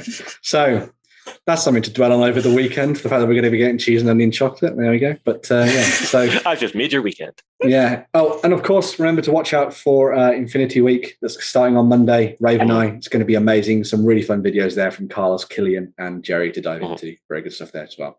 So yes, uh, final thing to say. Hope you enjoyed the show. Mhm. Seen something you liked? Make sure to comment down below as well. Share this on Facebook and social media and all that kind of thing as well. Get your friends involved. Comment down below with everything that you've uh, we've talked about. How how would you say Bestarium in a really cool way? Bestarium. There we go. That way. Yeah. That exact way. That's the only way. Very much so. yeah. um, so yes, have fun. Have a good weekend. Join us tomorrow. If we don't see you, uh, we'll see you on Sunday as part of the Cult of Games. If you want to come over and talk to us about all sorts of fun stuff over there, Lloyd has some very interesting things to talk about. He has some strange likes, but anyway, you'll learn It's- more about that it's on a strange Sunday. show. It's a yeah, strange it is, show. it's an interesting one this Strange, week. yeah. Yeah. But yeah, if we don't see you on Sunday, we'll see you next week for the weekender on Friday. Hmm. Bye for now, and stay safe, everybody. Go ahead and check out our other content on screen now. And while you're at it, why not hit subscribe and remember to ding our dong. Go on, you know you want to click it. Go on.